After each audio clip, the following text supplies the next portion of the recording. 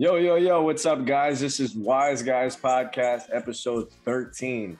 It's your boy Jay Ray. I got Johnny T, I got B Cap, and we got a surprise guest today. Another brother from CSB. We got JQ. We're gonna break down some NFC, the NFC East today. We're gonna talk about our top five running backs in the league right now. And should quarterbacks start day one? We're gonna end it also with our two minute drill. But before we get going, let me point something out. JQ here is probably the biggest Giants fan that I know. So it's it's a blast right now that we got him here to talk some NFC East football. What's up, guys? How we doing? Long time no see. Good to hear from you guys all. I appreciate you guys having me on the Wise Guys podcast. You were Uh, our first guest. Oh, this is oh wow, this is awesome. We're I- one. I appreciate it. Wow, that warms my heart on a on a Sunday morning. Um, but I'm very excited. NFC East, obviously the, the best division in football, as everyone knows. Um, I'm just excited to break down some topics with you guys. And it's not like we were doing this before all the time at CBS. So let, let's get into it. Yeah, we had some pretty epic giant debates there, which is why I think we're going to segue this straight into this episode 13. We've been doing this now for almost, what is it, seven weeks? That's, that's crazy. Mhm. So, yeah. Justin, you want to kick us off? I was saying you should have you should have JQ bat off for the NFC East, but we're going to go starting off from the top all the way working down to the very bottom, right? So Yeah. we're going to touch on his Giants last. Okay. Just want to make So, sure. all right, so so pre so pre-show, Brandon automatically assumed that each and every one of us were gonna have the same number one team, and already I could tell that's not the case.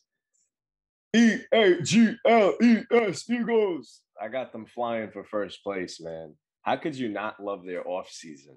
Making a big move, they go all in on Jalen Hurts. Jalen Hurts is the guy. They trade for for AJ Brown. They sign Haason Reddick in free agency. One of the sleeper moves is Kyzir White from the Chargers, a Pro Bowl caliber linebacker. They got him on a one year deal. Yo, the Eagles are primed and ready to go. They, they've taken some steps in the right direction. I love with what they're doing. And they're bringing back some alternate jerseys that, that are so fire. Come on, guys. It's the Eagles. Justin, you're familiar with James Bradberry, right? Yes, I am. Yes, I am. Brandon, uh, Brandon, I'm sh- not Brandon. Mix up the names. You got four of us in here. JQ, I'm sure you're also even more familiar with him. That was my guy the past two years. Yeah, he's he was one of my you know top ten favorite players, top five favorite players on the Giants. He had some good years with us. Those two years he was there, he was a lockdown corner. He was very solid, and it just sucks to see him go. But you know, when you're in a cap hell, when your old GM leaves you with no money left, you know, certain guys got to go. It's unfortunate, but I think that pickup for the Eagles is great. And you know, it stinks. I was sitting there on the night of the draft, and I'm like, oh, like the Eagles. I was like, oh, the Eagles are on the clock, and I was like, oh wait, they traded the pick, or like whatever happened, and I was like, oh no. And then like I saw it was like, oh AJ Brown go to Philadelphia. I was like, oh my god. I was like, here we go. I was like, but I mean, you know, Howie makes some good moves as a GM over there in Philly, and I think th- I think that team is poised for a playoff run, and I think it's going to be up to their quarterback. Can Hurts do it? But I think that overall team is the best like team in the NFC East. You got Dallas, is, which is a very good team, but I just think I don't know. I think Philly's going to be a different beast this year. It's going to be tough to beat them. To me, I feel like you always. By the way, on a side note, I I meant that I said Justin. I'm sure you're familiar with James Bradberry. I met I meant JQ Well, before. well, I'm familiar too because I wanted him in New England. So Yeah, that didn't Player. happen. hmm Yeah, I thought the Steelers may even be a player for him, but Philadelphia is a great fit. He's replacing former Steeler Steven Nelson uh, across from Darius Slay. I thought that was a good pickup for them. To me, though, the way you win games in the NFL is through the trenches. And I look at this Eagles defensive line Javon Hargrave, stud. Fletcher Cox. Derek Barnett, sure, maybe hasn't lived up to expectation. He's back. Brandon Graham, Jordan Davis from Georgia. You get Nakobe Dean, his uh, his backer. And then, to, to me, on the offensive side of the ball, when healthy, this is easily one of the best offensive lines in the NFC. And you have one of the better running games by far, Jalen Hurts. Now, not only did the Eagles figure out how to run the football last year, pretty good at this thing, but you give Jalen a top 10 receiver in A.J. Brown. This is one of the most complete teams to me. I think they may have some holes here or there. There may be some players at least some stuff to be desired. But overall in this NFC, like JQ said, the, deciding factor at this team winning 12 games or, or nine by far is the progression Jalen Hurts takes in his second year as a starter. Because outside of him, I don't see a limiting factor with the way this team is built. And considering how good a first season their young head coach had last year as well. So I mean, this is to me easily the team I have winning the NFC East, even with the Cowboys running things back again. So, so I just want a uh, real quick, JQ. So, do you also have the uh, Eagles winning the division, or? Yes, I do. I do. Okay. I think it'll be okay. close. I think it'll be close, but yeah. I don't know. I just think they're better. So I think this is their I, year. I think I think one thing we can have common ground is that I think that's this division um is going to be close, especially with I I mean in my opinion I believe it's going to be close between Dallas, Philly, and Washington. Um, so just to hit on Philly, a, f- a fun fact that I, I, I didn't know, but uh, when it popped up, I, I uh, opened my eyes a little bit. The Eagles haven't had a 1,000 yard wide receiver in the last seven seasons. The last guy to do that was in 2014, Jeremy Maclin. Oh, John wanted to guess it. Sorry, uh, but yeah. So yeah, um, hopefully uh, a healthy Devonta Smith or DeVonta Smith, um, uh, and or uh, AJ Brown can uh, produce to that level. I mean, we we all know AJ Brown's very capable of doing that. We've seen him do it in Tennessee year in year out. Uh, DeVonta Smith, um, he's got to get it going. I, I, think the one thing that is holding them back, and you know, again, I'm going to sound like a broken record. I feel like I've said it every single uh, uh, division breakdown we've done. I, I don't believe in the quarterback. So even when you tell me all those nice players that John mentioned, Fletcher uh, from Fletcher Cox to Brandon Graham, who me and uh, Justin know very well, he uh, made basically the uh, game-winning uh, sack uh, strip fumble on Tom Brady in the Super Bowl. Uh, and then uh, Darius Slay in the uh, backfield. But um, again, when I look at it and I say, and and um, uh, this just hit me. Um, Haason Reddick, they uh, they, uh, they signed that. That was a big free agent signing by um the Philadelphia Eagles. He's had 23 and a half sacks in the last two seasons. That's going to really help out because the Eagles last year had 29 sacks all year, and that ranked 31st in the NFL. So second to last. So that that's going to be a, a big help. But you tell me Jalen uh, Hurts is your quarterback, I, am I'm, I'm just not going to buy in. He's not he's not a good throw of the football.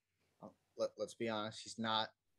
Um, I, I I know there are people that believe in his um, winning intangibles and his leadership skills, and, and that's all fine and dandy. But for me, if you and that's that's like a similar thing. I when somebody says that and, and says not th- good throw the football, my mind instantly goes to Tim Tebow. He, I would admit, he's a better thrower than Tim Tebow, right? He's faster, um, not as physical as Tebow. Tebow was a, a tank, but and we saw how Tebow uh, panned out. I mean, yeah, he was able to win games in the regular season, but when it counted in the playoffs, and I know he beat, uh, sorry, sore moment, but uh, Johnny T's uh, Pittsburgh Steelers. But then we saw him go against um, the New England Patriots, and, and, it was a complete blowout. There, there was no competition there whatsoever. Uh, so, and, and, last thing, they they, uh, they got a new rookie uh, head coach in Philadelphia. Well, second season. Oh, second season. Yeah, yeah, last okay, year okay, for him. Okay, yeah. So, but he, he, so he's still a newish head coach. I think this is a a, a Jalen Hurts uh, make it or break it year, uh, because if he doesn't succeed, like JQ touched on, they traded um for AJ Brown, but they uh, also got an extra first round pick in 2023 from New Orleans. So now they got two first round picks next year, I think, or I don't know. I would have to look up that, but they, they, they've got the assets to move up basically. If Jalen Hurts doesn't pan out, they can move up next year and uh, draft a quarterback of the future. No, Brand, they're going to end up. You're good. Sorry, sorry, Johnny. They're going to end up with like two, three picks next year because of those trades they did with Miami and San Francisco the years before. Okay, so yeah, that, okay. That trade yeah. for AJ Brown, it all it all equals out. Howie's doing a great job over there. They're gonna they have like a lot of draft capital, so if something happens, they're you know they're they're safe. They got they got luxury and they got room to work with. Johnny T, go ahead, say what you want. Jalen Hurts has had games. I think back to Kansas City last year, he's playing from behind, or he's thrown 300 plus yards. And when you look at the talent surrounding him, a player we didn't mention was Dallas Goedert, one of the best tight ends in the NFL. Like you guys touched on, DeVonta Smith, Devonta. They have so much talent around him I think it's similar to Tua in Miami, where you can say, okay, Nick Sirianni had an impressive first year as a head coach. There's lower expectation, press conference he had coming in. But overall, I, I trust the head coach. I trust the guys in the trenches. And I think the defense is going to create more plays this year, along with the playmakers around him. They're surrounding not just the quarterback, but the running game. That this can be one of the most dynamic offenses. Jalen's ability as a runner, with his progression as a passer that you would expect, I wouldn't be surprised if he can maybe squeeze into the back end of the MVP race this year if the Eagles can win 12 or 13 games. I think this team is that well rounded. And hey, if he puts up the numbers with the rushing and passing totals, I wouldn't say it's that crazy to say he can climb into that MVP discussion. Do I think he's gonna win it? No, but maybe like top five and he gets some looks. That's just me. So ju- just to just to um, because you said you know he had a couple games of uh 300 yards plus, but I- I'm looking at his stats right now, and there were some some weeks at a time, like a span of a one, two, three, four, five weeks in a row where he posted under a a 50 uh, QBR. Like it went a, a 10.1 QBR, a 39.2 QBR, 23.8 QBR, 45.8, and a 49.1, all all in a row. Then he went uh, 94.4 QBR, but he only threw for 103 yards and had only threw the ball 14 times. So that that wasn't really him, uh, you know, uh, doing much. Then he did a, a then he had a 91 uh, QBR against the Chargers, which they lost that game. Again, he only threw for 162 yards and only threw the ball 17 times. Uh, that then uh, he had a couple good weeks in a row there. Then to three games in a row, basically to end the season, a 17.1 QBR, a 30.1 QBR, and then a 43.4 QBR. It's very inconsistent quarterback play, and if you're going to put up those kind of that kind of QBR, it, it's going to be it, it's going to negatively inf- uh, affect your team, and I- I don't know if the Eagles as a team can overcome uh, Jalen Hurts not, you know, producing uh, throwing the football. But did he have the playmakers around him? There, you know, like there's stuff that goes into that. I feel like you know, Quez Watkins is your number two. Some weeks you're going to have inconsistent results. Now Quez is the number three. Don't forget Jalen Reagor too, and what a letdown that one has been as a. I think it was True. a first round pick too. Yeah, Yeah, but like was. like I mentioned, even when even when um he was posting the high QBRs, he wasn't asked to do the majority of the job. It, it was the running game that was doing the work. He So- played a pretty big role in that running game, though, wouldn't you say? Well, no, yeah, yeah, with his legs, but he's a quarterback. You got to eventually you're going to be forced to throw the football, and if you can't, then we've seen what happens with the quarterbacks that can't throw the football when asked to do so. And when the uh, defensive coordinator or head coach for the opposing team says, "No, we're going to shut what you do what uh, what you do best down, and we're going to force you as the quarterback to beat us."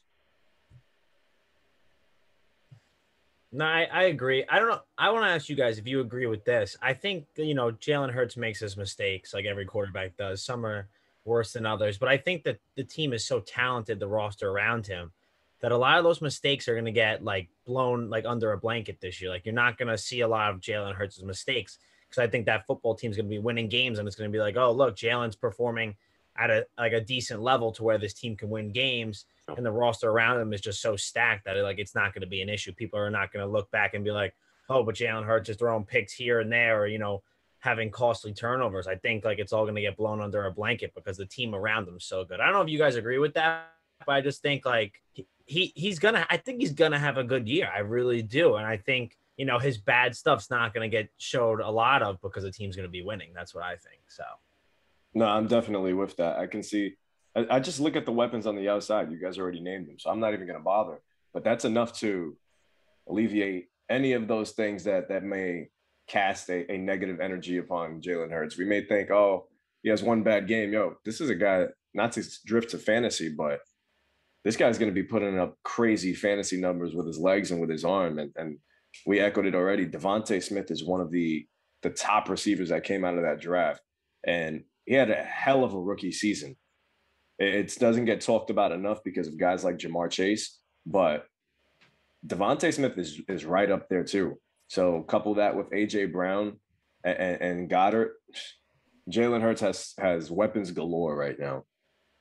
I think the best weapons in the NFC East. Yeah, I would certainly agree. You get the think- Cowboys with Gallup coming back from injury, and before then, with no Gallup easily, I think it's not Hmm. a discussion. Actually, I don't I don't know. I mean, I think uh I think yes, the Cowboys, but I also think the Commanders have a really good offensive unit.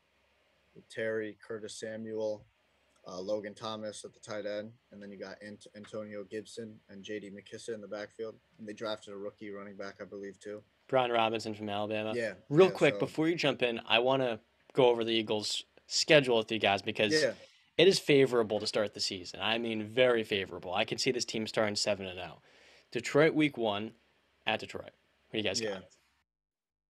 But I, I will say for uh, I didn't get to say this when we started covering schedules. Week one, it for me is the is the most toss up game of any game of the season because eh, eh, we've seen it. Anything can happen. A, a bad team Sure. can beat a good team. So I can easily and we've we've talked about the Lions before, and we all like the Lions. We like the the uh, culture that Dan Campbell is setting in there, and that they could they listen. I- I wouldn't count the Lions out in that game. Okay, but then you got Minnesota at home week two, and it's, it's a primetime game against Kirk Cousins. I'll take the Eagles. So I'll take the, I'll take the Eagles too, man. Kurt doesn't usually perform in the uh, prime time, but again, so who are you like, uh, taking? uh, we gotta yeah. go through this or TikTok. Come on, okay, go ahead. Eagles or Eagles or Vikings? I'm asking you. I- Again, uh, Okay, Vikings, you I know, would have to take okay. the Week, week one, I got the Lions. Week two, I'll take the Eagles. Week three, Commanders in Washington. Eagles. Eagles. Okay. Week four, Jacksonville at home. Eagles. Eagles. Come on, stop it. I take the Eagles right now, but I got to see about the Jaguars. All right, that's fair. That's fair. Trevor has a lot of talent around him as well. Week five in Arizona. Arizona. Arizona, they're a first half team. They're only good the first. But they don't have DeAndre Hopkins the first six games. Yeah, he doesn't. He, he doesn't bother me. Arizona, Arizona. Kyler will throw it to himself. Arizona. We'll see how that goes. I think that Eagles' stout defensive front can pummel Kyler if they can really Very get good. him going to the left side without D Hop. But then week six, you're playing the Cowboys at home. Sunday night football. Yes, I got the I got the Eagles. Dallas. Okay, They're gonna s- they're gonna split. So I'm gonna I'm gonna go Cowboys. That who's home that game? The The Eagles. Eagles. I'm gonna say Cowboys. Uh, road win. Yeah, Cowboys usually perform better on the road. Cowboys. So then they got their bye. Then after the bye, they get the Steelers week eight at home. I, I think they absolutely destroy the Steelers. Um, Destroy is a strong word against the Steelers. I'm just- Damn. I just wanted to just I mean- to throw that out.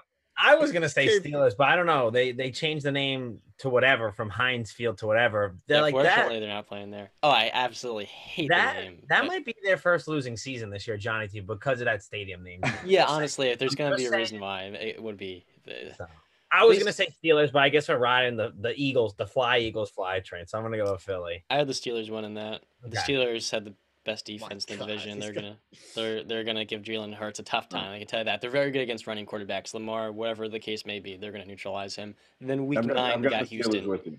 I've got the Steelers. Oh, okay. Yeah. We- Week nine, they're playing in Houston. Owen. Philly, Philly.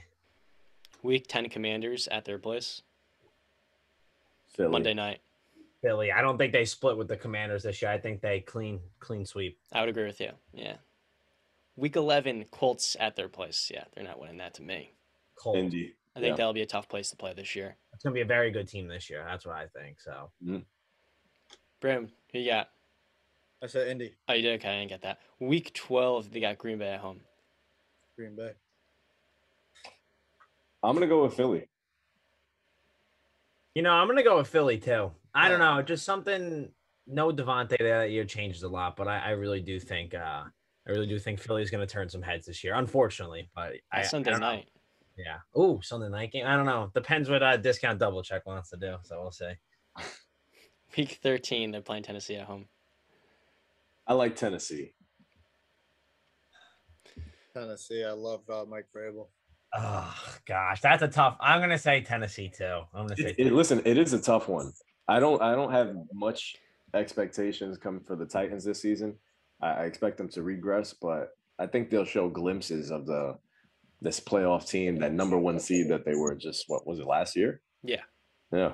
Probably one of the worst number one seeds. I don't know how they did that, but this is a team that's going to be fighting for a playoff spot, I think, the first week of December. So, you know what? I think I'd be with you guys in the Titans. Week 14, they're playing in New York or in New Jersey, shall I say. Shadow of New York.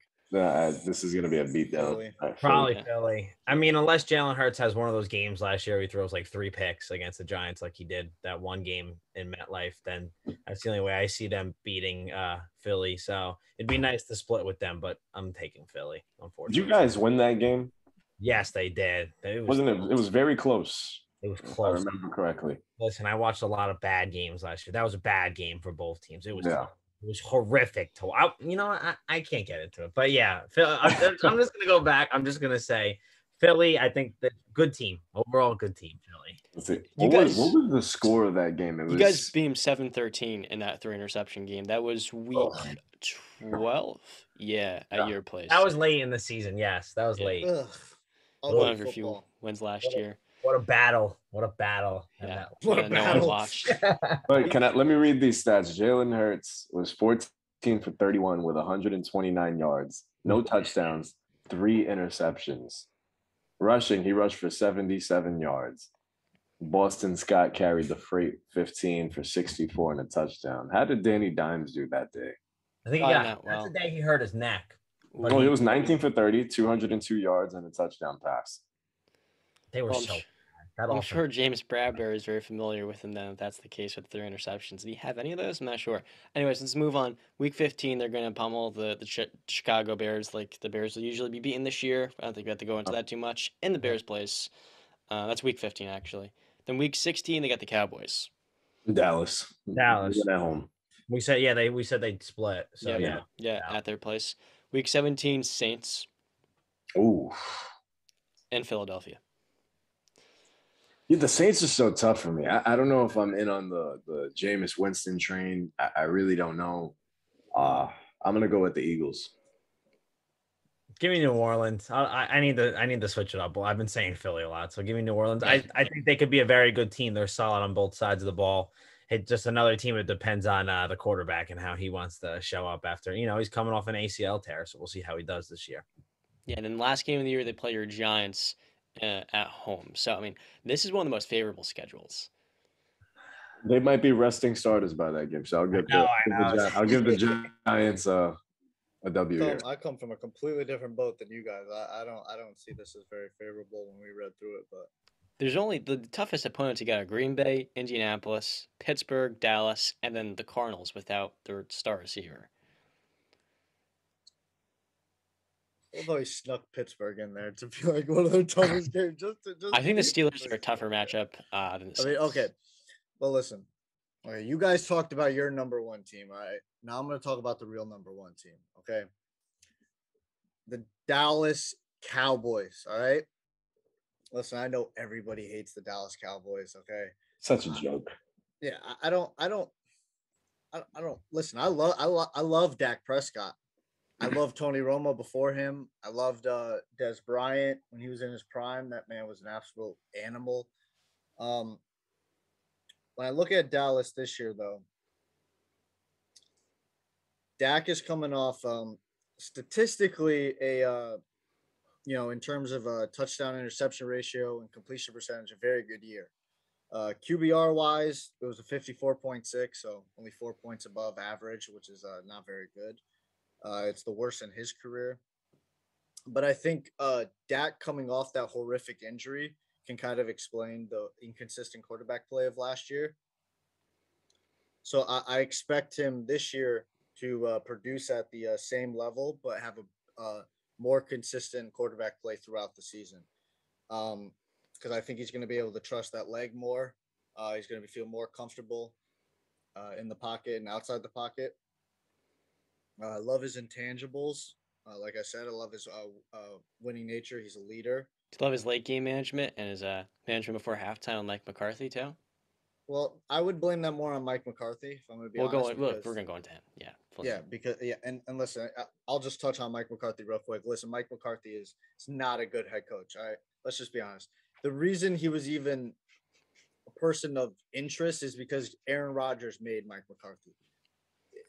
Mike McCarthy is not, and, and we've seen him be exposed in Dallas with this late game uh, clock management, the challenges, looking up at the big screen like, oh, should should I challenge it or oh, oh, wait, I can't challenge it because I threw the challenge flag in the foot and, and I messed up on that call. It, it's just too many mistakes from the head coach, and the And I think we all know why he's the head coach. It's because he won't cause any problems with Jerry Jones. He's going to do what he's told, and he's going to be the puppet master like Jason Garrett.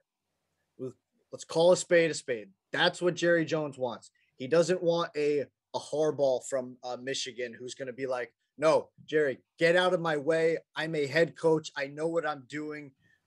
St- you've been, you have not won a Super Bowl since the 1990s, buddy. It is 2022. Change it up. And and we thought we saw a little uh, a little bit of that in um uh I think it was 20 what was it? When did Zack Martin get drafted? That was the Johnny Manziel draft. That was 20, 2014. 2014. Okay. Yeah. That's when we thought we start to saw the change. Because if you remember going into that draft, when they started getting closer to Dallas and Johnny Manziel was on the uh, on the board, everybody Jerry Jones wanted to take Johnny Manziel. That's been reported. He wanted to take J- Johnny, but Stephen Jones, his son, was able to convince him to be like, "Dad, no, stop it." Basically, like slapping his hand. Dad, enough. We're taking Zack Martin, okay? And look, and it panned out perfectly. Zack Martin is going to be a first ballot Hall of Famer when his career is all said and done. And, and even before that, they took um, Tyron Smith in 2011. He's been great for basically a decade plus. Uh, they drafted Travis Frederick, who some people thought they reached for him, but they're uh, um, they ended up having the last laugh because he turned out to be an all-pro center, one of the best in the league, if not the best. It sucks that disease uh, cut his uh, career short because he would have probably been in the Hall of Fame too if he can, uh, kept playing at that level. Do you want to talk about some of these teams' to, losses as well? By the way, sorry to cut you off. Yeah, no, no, no. I'm going to get to the losses. Um, and I was just about to get there. They drafted. Uh, they they stole La'el Collins in the draft. He's gone now. Um, and they uh, drafted uh, Connor Williams a little bit later. He's in Miami now, so they've lost some offensive line, but they did draft in the first round this year Tyler Smith, um, out of uh, what college is he out of? Where's he from? Tulsa, I think. Tulsa. Tulsa. Okay, yeah, yeah. So Tyler, and he's going to start right away. Stephen Jones has already said that he's going to be the starting left guard coming into this season. Uh, the offensive line, if you look at it, uh, Pro Football Focus ranked Dallas's O line in 2020 27th overall. Last year they were number one.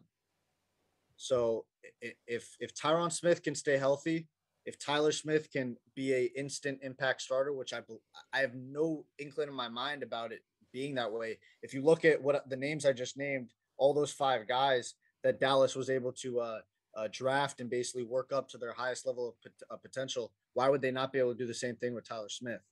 So um, I believe I believe in Dak Prescott. Now, I will say, Ezekiel Elliott has not been Ezekiel Elliott since 2019. Since he signed that six-year extension with 50 million guaranteed, which is a horrible deal.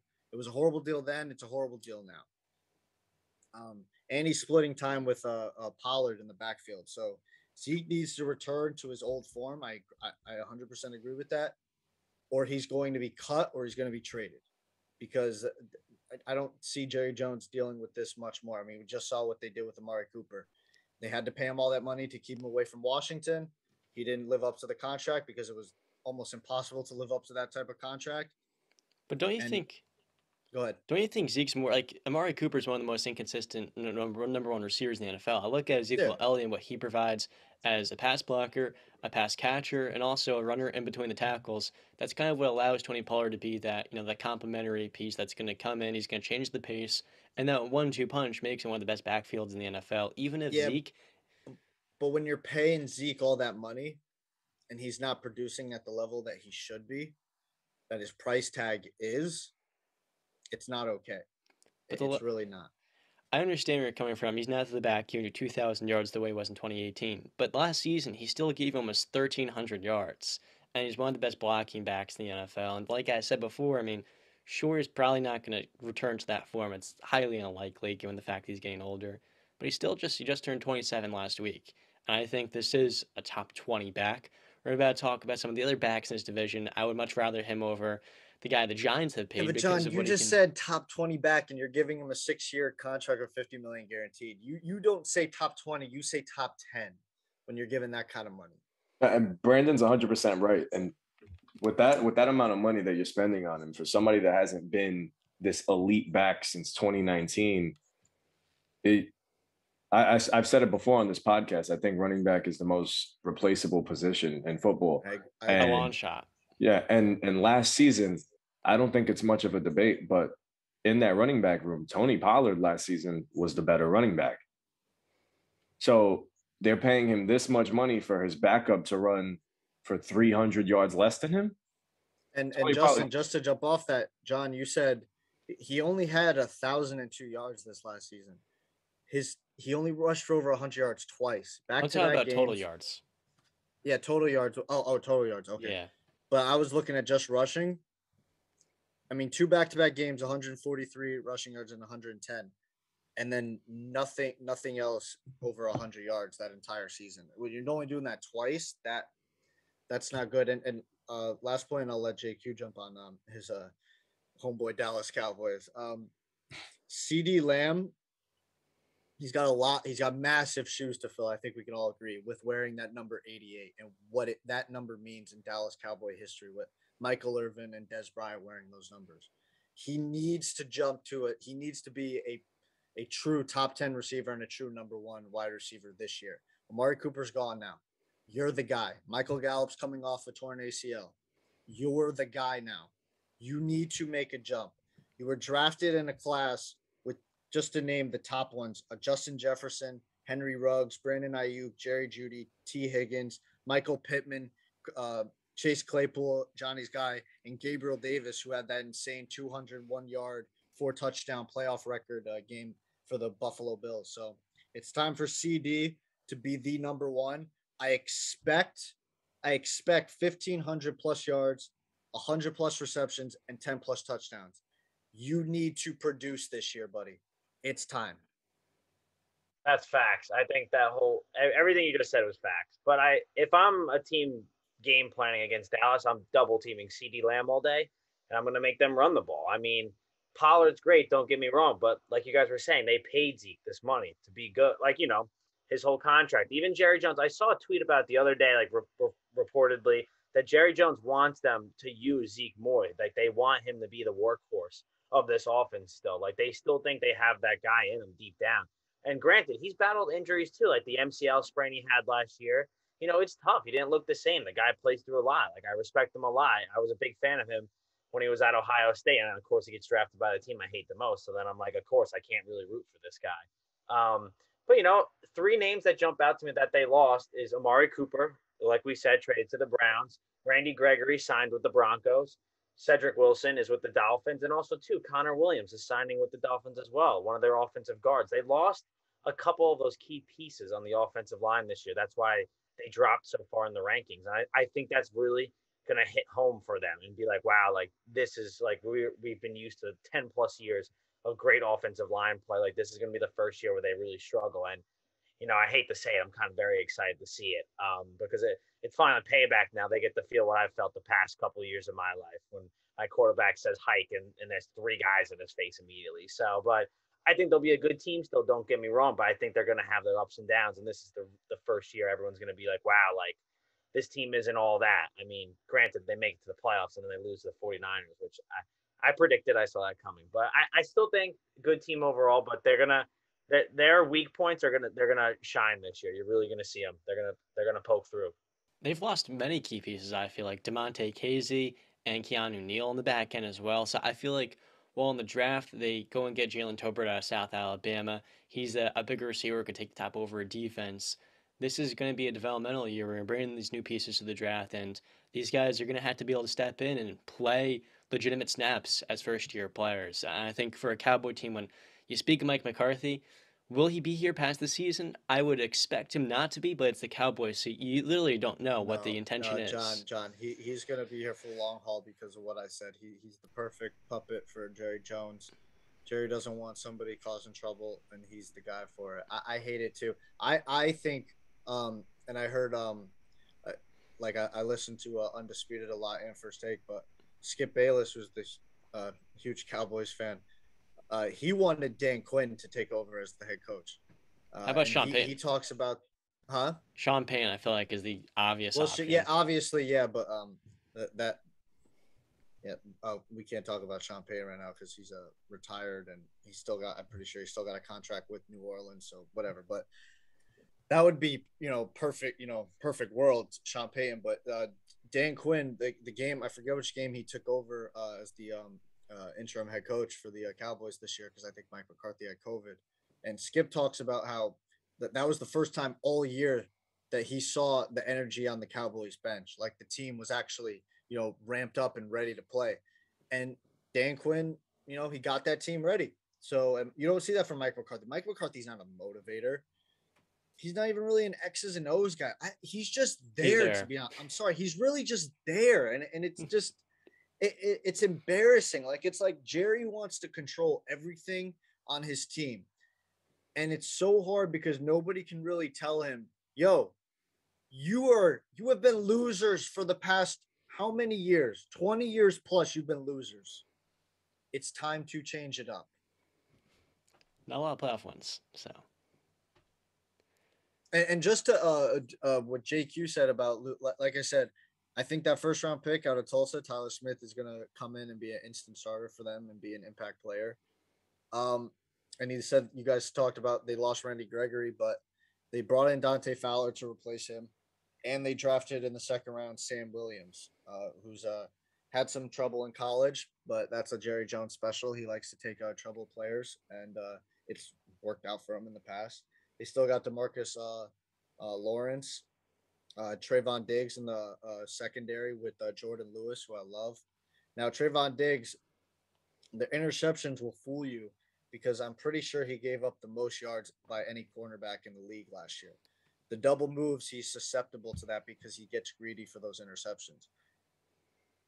And, and I was just watching a little mini movie of Mac Jones's rookie season last year, and uh, one of the highlight plays was against the Cowboys, where Kendrick Bourne hit him with a double move, and it was 75 yard touchdown um, down the field, which I think was the longest play for New England that year. But Trey, I, I give Trevon Diggs a benefit of the doubt because he's only been a cornerback for five years, and to see him at the level he is right now, only five years in, I think, and he's only 23, I think. I think he's going to take those jumps and start not getting fooled as much in those situations. So, and you talk about Keanu Neal missing. I mean, they got Malik Hooker still. So I, I just, I look at Dallas and I still say this is Dallas's division to lose. And I, I don't see anybody uh, dethroning them this year because I think they have, like I always say, it's a quarterback's league. They got the best quarterback they're gonna win the division. So I got a question for you guys. Uh, we're gonna we're gonna rewind. Do any of you guys remember what 2016 was like for the Cowboys? Running game, Dax running up yeah. short yardage. Oh, for the Cowboys? Yeah. 2016. Won 13 games, right? 13 and three, lost in the divisional round to Green Bay on. Uh, yeah, yeah, yeah, yeah. That was Dak's rookie year. Yeah, correct. The rookie year of both Zeke and Dak. after that year, I feel like everybody thought that the Cowboys at some point, didn't you guys think by 2016 to now that they might have had a championship after what we saw from those two? No, because Jason Garrett was the coach, and now it's Mike yeah. McCarthy. Yeah. Hmm. Truth be told, that, that, that's the biggest point. And Jerry Jones still owns the team, and he's gonna. It, it's. It, I'm sorry to bring it up, and I know JQ is a, a Knicks fan too, but it's just like James Dolan in the NBA. that you're you're oh, when when the guess what what's the old saying? The fish rots from the head down. And when the head is rotten, the whole team's going to be rotten. And it's really hard to overcome that. So then my question, what I was going to get into was, is there even a championship window for the Cowboys? You yeah. Good, the good news is Jerry Jones doesn't do the draft picks, and this is one of the best teams at drafting in the NFL. So I think there mm-hmm. a window at this team. You talk about CeeDee Lamb, you still have the Zach Martins. This team is stacked. I just think they lost some key pieces. I'm looking at the head coach. I feel like that's the biggest deterrent with the squad because if you put Sean Payton here right now, oh, yeah. they have a yeah. championship they're, window. They're, they're Super Bowl contender. If they have Sean Payton, they're Super Bowl contenders. Yeah, they have one of the better no quarterbacks in the NFL, no doubt about it. Dak is a good QB, and Brandon, talked about, you know, you had the best quarterback in the division. Sure, they had a better quarterback in, in the 49ers game, and look what happened. That doesn't always matter. Sometimes a better football team is going to beat the better quarterback even still, you talk about the running game, the O line. I think it's still going to be one of the better ones, one of the best. The defense still has playmakers on it. I think Micah Parsons, we haven't even mentioned, have we? Yeah. I think he's a dark horse to win Defensive Player of the Year this season. I think with Dan Quinn, the job he did as a rookie, Micah is a stud. He's the best player on this team. I think we're gonna be saying that by the end of the season. And I think with the playmakers all around the squad, yeah, they got a championship window. I just think ultimately with Mike McCarthy, that is not open. But without him, I think that thing can certainly, you know, pry fray. That's just my take. I'll be honest. I don't think Dak Prescott could win big games against a big team. Thank you. I I, I see. Uh, look at the NFC. You got Tom Brady still. You still got the Rams, and guess what? They see the Rams and the Bucks in the first five weeks. That'll be that'll be proof for you guys right there in week one when they get shellacked by Tom Brady in their home stadium. We're gonna be like, oh man, this Yeah Dallas. but, team- yeah, but I bet you would have thought that last year that they were going to get shellacked with Dak Prescott coming out the injury, and it was a really close game where Dak had a chance to win it. You're right, but guess what? They didn't win. I Yeah, but they didn't because I Dak was coming off a win the game. Compound fracture. The bone was through his skin. That wasn't. I, I think. I think they could have played again in week 15, and I would still have taken the Bucks. Yeah, but I still think that Dak. We got to give Dak a little bit of a pass for last year because of the injury that he had. I think about this year, yeah, I think this year he's gonna he's gonna show you. I, uh, listen when you're a fourth round pick and you come out the gate in the preseason slanging and banging and beat Tony Romo for the job. Well, Tony Romo got injured, but even when he got healthy, they stuck with Dak because Dak was playing unbelievably. Like Justin said, 13 and 3, made it to the divisional round of the playoffs against the Packers. I think they were one Mason Crosby kick away from winning that game. I mean, he made two insanely insanely hard kicks in that game. Like like the the, the last one I believe was the one that was like looking like it was going left and then it freaking curved right at the last second. Uh, and that was the game I think Aaron Rodgers made that unbelievable throw to um uh, I think it was Jared Cook Jr. maybe the tight end on the sideline. I believe that was that game. So listen, when you go toe to toe with Aaron Rodgers in your rookie season and you're one play away from winning it, uh, and your fourth round pick, you come from you know some people not expecting much. He's he's an overachiever to the highest order. You're right, but I- this I team believe hasn't even made a conference championship. They've played in the divisional round. Yeah, They haven't gotten look, by. They can't get through. Look at Justin. Green Bay. Look at Tampa. Look at Justin. look at LA. Justin, And thank God you. Wait, wait, wait. Arizona Stop on LA. Play in Texas. Stop on LA. doesn't lose in Stop Texas. on LA because I got Philly's you. better than them. I San got you. Francisco is better than them. That's five teams that Justin. I think can walk into Dallas, and Dallas doesn't stand a chance. They'll Okay, look good I- for three quarters, and then they'll flop in the fourth. I'm not buying Dallas this year at all. I'm never buying Dallas. I'm not getting on that hype. Yeah. All right, hold on, Justin. Hold on. I got you though. I got you. Look at LA, right? We always talk about Matthew Stafford and how he was in Detroit with Jim Schwartz and Coach Pencil. Okay.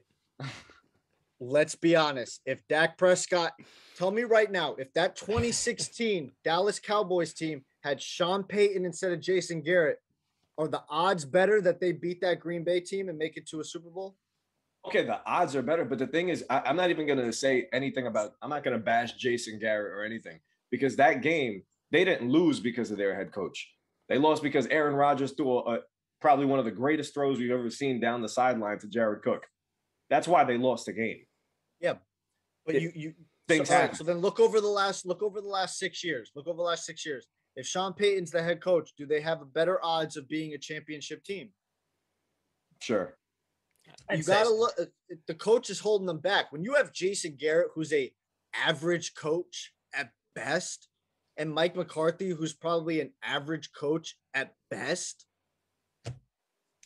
I'm sorry, man, but it's freaking it's hard to overcome that. Well, guess what? They still got an average average coach on the sideline. Nothing's going They to change. do. They do. Dallas is going to be Dallas. I'll, I'll say has.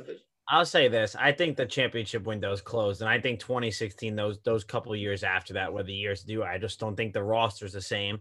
I think Dak's a good quarterback, but look at that game against San Francisco last year. They were home. They had a home playoff game, and they absolutely blew it. They blew it. They played terrible the first three quarters, and they're down like two scores, three scores, and then Dak starts his oh his big comebacks they always call it, and then they're like oh look at all of his stats, look how he does. it's because he's throwing the ball 40, 50 times a game when they're always down like two scores. So, and San Francisco took it to him that game. I had a feeling San Francisco was going to win, and I thought they were the better team. I honestly think, I really think I you could take Jimmy G over Dak Prescott in some situations, and I'd be totally fine with it. Look, look what look at the experience and look who's been a winner in the past. Jimmy G knows how to get it done. He's been to a Super Bowl, and he was just a couple plays short this year of making it again. I just think their their window has closed, but I think they're a good team. I know we, if we're going through the schedule, I'd love to. I think their ceiling's ten wins. I really do this year. I think that's One it. thing before Time we out. get Can we have JQ on every damn episode?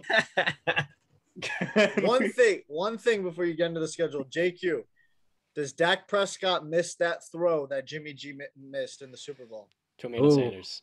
you know, No, I don't. doesn't. You know, I don't think so. I, I you know, because I, because like I, I get it. Like Dak's, a, he's a great quarterback. He's got a good arm. Like he makes those good throws. But you know, I've seen his flaws, and they're and they're pretty bad. But I don't know. Like Jimmy G should have made that throw. I really think about it. You know, I, I, I don't know what you guys think, but I thought that was a makeable throw, and I was like, It's a, it's a freaking, it's a, it's, it's. it's it's tough to look at it because like you saw the separation he had on the two guys, and it's like over the top, and it's like you You're blow. an NFL. You're an NFL quarterback. You're playing at the highest level. You're getting paid millions of dollars. You make that throw. Very true, Brandon. Very true. I just If think. you- if you- I don't know, if man. That, that if you throw- want, if you want to go into the schedule, John, if you want to do that, we can. Because like uh, JQ said, they have uh, two t- or Justin, whichever one uh, said they have two insanely tough games starting out the season. God, Mhm. they have three tough games to start the season. Actually, I'm looking at Yeah, right I mean, last year was the same thing. They played the Tampa Bay Buccaneers, the defending champs, week one. They listen, they played them. They almost beat them.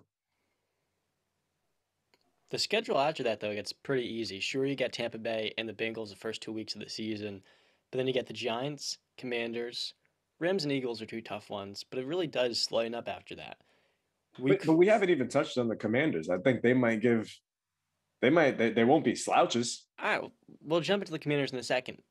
After that Detroit game following the Eagles and the Rams and the Commanders, you got the Bears at Green Bay, at Minnesota, Giants, Colts, Houston, Jacksonville, Philadelphia, Tennessee, and the Commanders. I think the ceiling for this team is 12 wins. I don't think it's 10 because I can easily see them beating Indianapolis at third place. The same exact thing goes for Philadelphia. They can beat Philadelphia both times, though I think they're going to split. And then with the Packers, I wouldn't be surprised if Dak goes into Lambeau and beats them. I can definitely see that.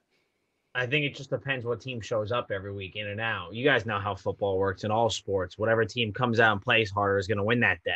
You know, you look at some of these teams like Detroit. I mean, they they've kind of been turning some heads. I'm not saying they're a playoff team, but they they compete. They battle hard. That's a hard fighting team. I could, you know, you never know. What if they come out and play harder than Dallas that day? Um, Chicago, forget Chicago. They're just, you know, they're bad, bad. Like maybe that Minnesota game. Maybe Minnesota can sneak one out against Dallas. I don't know. I think I think their Isn't first. there? Isn't there? Oh, just a, isn't there a stat? Is it? Is it Kirk Cousins hasn't beaten the Cowboys, or Kirk Cousins continues to beat the Cowboys over? Which one is it? I feel like he's winless or he's undefeated against them. I don't know.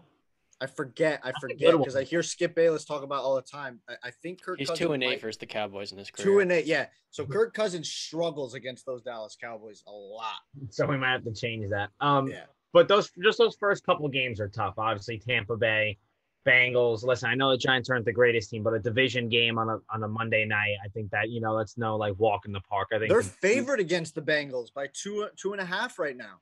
Okay, that, that's interesting to see. You know, they got two division games back to back. I just always think division games, no matter how bad the teams Yeah. are, I, I think they're a toss up at the end of the day. Then they play the Rams and the Eagles. Like I think those first six weeks, it, it's it's gonna be tough for them. But I think I could see it. Like Johnny T, if they come out and play really well, I could see the twelve wins. But I'm still my ceiling still at ten for them. with the Cowboys and last year, right? When they start off the season, I mean, you look at Dak Prescott, he put up really solid numbers to start the season and to end the season, not not the playoff game. He played terribly. There's no excuse for that. Um, but in the last three games of the season against Washington, Arizona, and Philly, he went, uh, let's see, seven, um, 12 touchdowns, no interceptions. He posted um, a 72% completion percentage, 63, and then a 78, all back to back, and a 71 QBR, 61 QBR, and a 98 QBR. So I, I think that's more indicative of where Dak Prescott is going to kick off the season this year. Is he's going to start the season off better because he, like I said, he started off the seasons pretty well. So I think I think those those first six weeks, yes, they're tough, but I think it's going to battle test Dallas and it's going to help them out in the long run later in the season and into the postseason, where they're going to uh, have faced the highest level of competition, and we're going to be able to see where Dallas is at early on this season. Just remember that offensive line isn't the same, so that's going to be that's going to be a key for them this year to see how they do with yep, not a dominant offensive line. But. Good quarterback. He is a very good quarterback. He could he can make the throws. I know he can. So It's going to be a very long season for the Dallas Cowboys and their fans. And I'm looking forward to tuning into First Take to seeing Stephen A. Smith laugh because it's coming. No, those are hilarious. Whatever can go wrong will go wrong. Um, but let let's let's jump to a team that we haven't mentioned yet, who uh, I actually might shock you guys. I have coming in second place in the division, and that's the Washington Commanders. No, JQ, not the Giants. The Washington Commanders. Now, this is similar to uh, another team we uh, previewed uh, a couple weeks ago. I, I forget it off the top of my head, but when when you asked i said when you asked me about that team i would say oh they're not that very good of a team but when i actually looked at it and did the research I, I saw that i actually really like the team and that's the same thing with the commanders if you asked me before i even looked at them i would say ah, they're probably going to be in third place in the division but then i look at the team and i say you know what and listen i, I know i know it might come back to bite me in the ass trusting carson wentz but I- i'm gonna I'm gonna trust Carson Wentz. And John, John's already shaking his head Why? like, "Don't fall for the trap again." But and listen, I know it was a disappointing year in Indy, right? He did. I, I forget the numbers of. I think it was 27 touchdowns to seven interceptions. And I know those numbers with seven those numbers- fumbles lost in there too. yeah, yeah, exactly. I was just about to say those numbers do lie because if you look at the whole picture, like in a vacuum, they're all right, but when you look at the whole picture, it's it wasn't that good. Right, a, a disappointing. He did post over a 90 uh, passer rating for the fourth time in his career. He'll be playing with the best wide receiver he's ever had in his career, in Terry McLaurin. McLaurin, whatever. Um, Yeah. the O line is is is going through some changes. I'll admit. Uh, uh, Brandon Sh- uh, Scherff is uh, the All Pro is gone, and they lost uh, Ereck Flowers. Uh, JQ might know him. Uh, but they did they did bring in uh, an All Pro and uh, Andrew Norwell and a five time Pro Bowler who we've talked about, and Trai Turner from. Uh, um, He's solid. He was yeah, pretty solid was, last year, right? for Carolina the for the longest time, but I think he, yeah, he played for the Steelers and another Mhm. team, I think too. Um, Chargers. yeah. So so the O line's going through some changes, but they brought in guys to uh, plug in and, and fill that role. I mentioned before um, the receiving core um, with Terry and Curtis Samuel, and I think there's um Jahan Dotson they, dra- they just I draft they love. drafted a, a number one wide receiver right in the first round. Jahan's Yeah. awesome. Can I touch on him for a second? Go look ahead, at what Carson. Wentz was able to do last year. Michael Pittman, his second season. They then go out in the first round and say, We're going with Dotson. He's a bigger route runner that could run it very well. He could take the top over defense. We're talking about Jalen Tolbert before.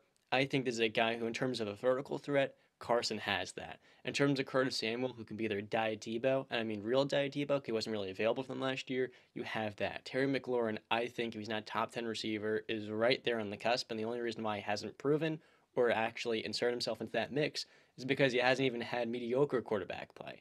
Sure, he's had some moments, a Heinicke or what have you, but I think Wentz, is he mediocre? I would put him around the 16 to 21 tier with Baker, Tannehill, He's and all an those average folks. quarterback. I would say, yeah, his his floor is well below average. His ceiling, we saw the MVP season, that's not coming back. Wentz is just a different quarterback now. His ability to improvise and stay collected, the composure, I think, has really just disappeared. I think it's a mental thing more than anything else. I think some of the athleticism with the torn ACL is not there anymore. You're not going to see him kind of like Andrew Luck or maybe Josh Allen trying to make big time plays where he's risking his body. I feel like there is a hurdle now in his mind, and I don't know if he's ever going to be able to actually, you know, overcome that. And that is really the limiting factor with this this Commanders team. I worry about Carson Wentz's ability to lead and kind of you know put the flag in the sand and say, "Let's go, follow me." I don't think he can do that. So, uh, and and I, I hear your points loud and clear. Trust me, okay? Because I still have the same uh, reservations with Carson Wentz, but him, I believe in more so than the other quarterbacks that I've said, where I've said I like the team, but I don't believe in the quarterback. He's the one that I say I believe in him more than those guys, especially with the talent around. I mean, Antonio Gibson, who's a dual threat out of the backfield, who's becoming a rising star in the NFL. J.D. McKissic is a very good receiving back. They drafted Brian Robinson Jr. in the third round from Alabama. We've seen the Alabama running backs and how they um, are able to uh, transition to the next level in the uh, NFL. Uh, we touched on the receiving core. Uh, Logan Thomas is on the uh, pup list, but uh, I expect him to be able to play this season, and he was able. He was a breakout tight end last year. defensively, they have they got. Let's see what is it. Speaking of the pup list, yeah, pup list, right? they got three. I believe it's three first rounders on the D line or no, four first rounders on the D line. So they got uh, Da'Ron Payne, who they took in 2018, 13th overall, Jonathan Allen, who they took in 2017, uh, 17th overall, and then they got uh, Montez Sweat and uh, the the the guy of that defensive line in Chase Young, who was the second overall pick. Now he is coming off a torn ACL that uh, ended his uh, uh, second uh, sophomore season last year, and he's going to miss uh, the start of the season this year. But when he comes back, we're gonna have to see that um that defensive line of um 20 uh 2020 where um if you look at it that's right here which is just it's just so the D line in 2020 they were uh sixth in sacks last uh in 2020 and then in 2021 they dropped to 17th and that that heavily impacted the secondary because in 2020 they they were number two in the NFL in, in passing touchdowns allowed with 21. Last year, they were dead last, and they allowed 34 passing touchdowns. So that D line needs to get the pressure because we I just showed you the numbers. If they don't, that's going to impact the secondary. I have faith in that D line um, to get it done. They still have some talent in the uh, in the backfield. Uh, they got a a, um, uh, a first round pick last year. They took Jamin Davis out of Kentucky to play in linebacker. In secondary, they got uh, Kendall Fuller. Um, they signed uh, last year William Jackson III from Cincy. Uh, they got Bobby McCain, who they re-signed to a two-year deal. Last year, he picked off uh, two of the best quarterbacks in the NFL, and Patrick Mahomes and Tom Brady. Uh, and and just to wrap up the Washington, th- this is one of my main points because I don't think it's an argument who the best head coach is in this division. I would hope not. It's it's Ron Rivera, Riverboat Ron. Nick Sirianni might have a say about that, my man. We need to see one more year of Sirianni, I think. But yeah, Riverboat Ron. Riverboat Ron is that guy, and the, the things that he's overcome in his in, in, in just his life in general with having cancers is admirable, and um, so thankful that he's uh, still around with us and he's able to do what he loves. Uh, so I, I, believe in Riverboat Ron. Uh, I think he's going to cultivate this team, and unlike uh, Mike McCarthy, he is a great motivator. So uh, I believe in Riverboat Ron. And I think they they are going to give the uh, Cowboys the toughest test this year. But like I said to start this thing off, I do think the Eagles, Washington, and Dallas are going to be close throughout this whole season. Speaking of the defensive line, they had another top draft pick in the second round out of Alabama, and Phidarian Mathis uh, Uh, to add to that defensive line. And there's just so much talent there. I think it's great, just like it was last season. The worry, once again, is the offense supporting the defense. That big win they had in 2020 against my Steelers, the way the Steelers fell apart that season with an awesome defense like this on paper was an offense that couldn't run the ball consistently, a questionable offensive line, a limited quarterback that wasn't consistent whatsoever. Those three things all impact the defense negatively because they're kind of left stranded out there. And that was why last year Commanders had, or the football team had issues when that was a team name. And of course, players were going down. Logan Thomas had a breakout year in 2020. He was out last season. I think getting him back is also, along with a healthy Curtis Samuel, a big time difference maker. But in the end, do you trust this offense to move the chains and be reliable so they could actually finish or place above Philadelphia? I doubt so. I Nope. trust Jalen Hurts more than Carson Wentz, and while they're in the same tier now, I'm taking Hurts any day, man. I trust him way more to lead. And more importantly, I trust that Eagles offense way more to move the chains to that defensive line than I do this Redskin Commanders football team. My apologies. I didn't do that on purpose. Oh, Listen, s- I, I, I'm I I look at the the Commanders right now, and I'm with you 100 percent where there's questions on the offensive side of the ball. But for me, it's all from the quarterback. Uh, I'm I was a fan of Carson Wentz. One, he was in he was on my fantasy team for a while. Don't ask me why I held on to him. He wasn't Wow. blowing the world off, but I had him.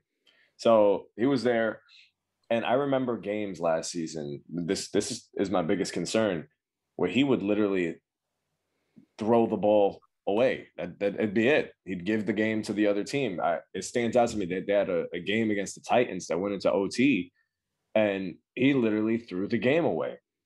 And then to end the season, all he needed was to win one. They went they they they went to Vegas. They lost 23 to 20.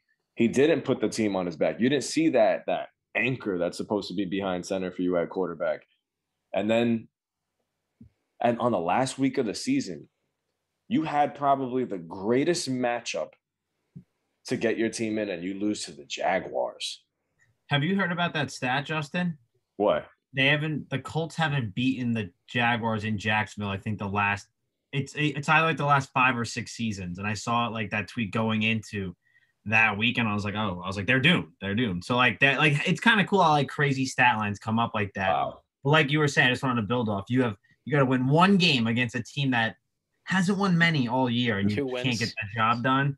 That that that sticks in my mind, and like that stuff, like you said, you like you'll remember that and be like, But- well, Oh yeah, the last time the Colts won in Jacksonville was 2014 with Andrew Yeah. Luck.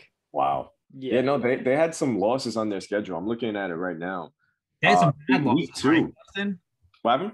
They had some bad losses, right? The Colts last year. Ugly ones. I remember, I think it was a Monday night against Baltimore, a Monday or a Sunday night against Baltimore, and they had a two score lead on those guys going into the second half. And boom, I had I had some money on that. And that's that's how I really remember it. But Oh, so Baltimore, you lost. So you lost money that night. yes, I lost money that night. Unfor- So- unfortunate. Unfortunate. But Baltimore, they they had they had the game in the bag, and Baltimore came charging back. Uh, like I mentioned, I already mentioned the Vegas one. I mentioned the Jaguars one. Uh, they almost coughed up the game against New England when And they were up like. mind- Sorry, you can No, what happened? Keep in mind through all of this, Carson has one of the very best offensive lines in football. I know Quenton Nelson wasn't 100% last year, but that Colts offensive line, you look on paper, is stacked. Yeah. And you have one of the best running games, which is better than the one that the Commanders have. And in spite of that, he struggled there. He couldn't be consistent. Like you said, he was horrible, if I, uh, if my memory serves, in that Patriots game, right? Yeah. And you think Reed's going to do a better job with the Commanders? I know he's got Terry McLaurin, who's awesome, and there's some surrounding talent like a touchdown. Jahan Dotson can burn you from all three levels. But the offensive line, the running game, those things, you know, that's that's a big concern because he's not going to have that the way he did with the Colts. And most importantly, I mean, I like Riverboat Ron, very good coach. But in Indianapolis, he had one of the best coaches in Frank Reich as well. So I mean, he's going through a, a big time downgrade here in the Commanders, no, no matter how you want to put it. Yeah, Sorry. because you know what? When he snaps the ball and he goes to hand that football off, Jonathan Taylor isn't going to be there for him. They the Washington needs him to step up. He's not going to be able to hand the ball off 25, 30 times a game and expect this bell cow of a running back to go over. Antonio Gibson's not Jonathan Taylor. Will this team lead the league in Pro Bowls? You think? Yeah. Yes. No. Well, they'll have a couple. I think Terry will be one. Chase, if Chase is gonna miss at least the first week, I think he missed the first four. Probably not. I mean, yeah. I mean, he had that injury late in the season, I think, too. I think it was after like the halfway point of the season. I think it happened. Un- Unfortunately, I hate seeing players get hurt. And a guy like him that I was begging to be a New York Giant a couple years ago, unfortunately, wasn't meant to be. Um, but yeah, I, I like to see him play. So when he's in, he's a he's definitely a, a very talented guy. So th- that that's gonna that's gonna hurt them when he's not playing for them. So um, I mean, really, like you guys, like Brandon, you were saying you think they're gonna finish like top tier in the division, like you know, like fighting with like Philly and Dallas. To be honest with you, I think I think they're gonna be in dead last. I really, like Oh. Justin was saying, you're putting all you're putting a lot of pressure on Carson Wentz. There's no Jonathan Taylor. I know he's got good weapons like Curtis Samuel. I I was like like when they signed him last year, I was like, oh, this is gonna be interesting. Like he can be a good player for this team. Never saw him. Might have played a, a game or two because he got injuries and battled COVID, whatever.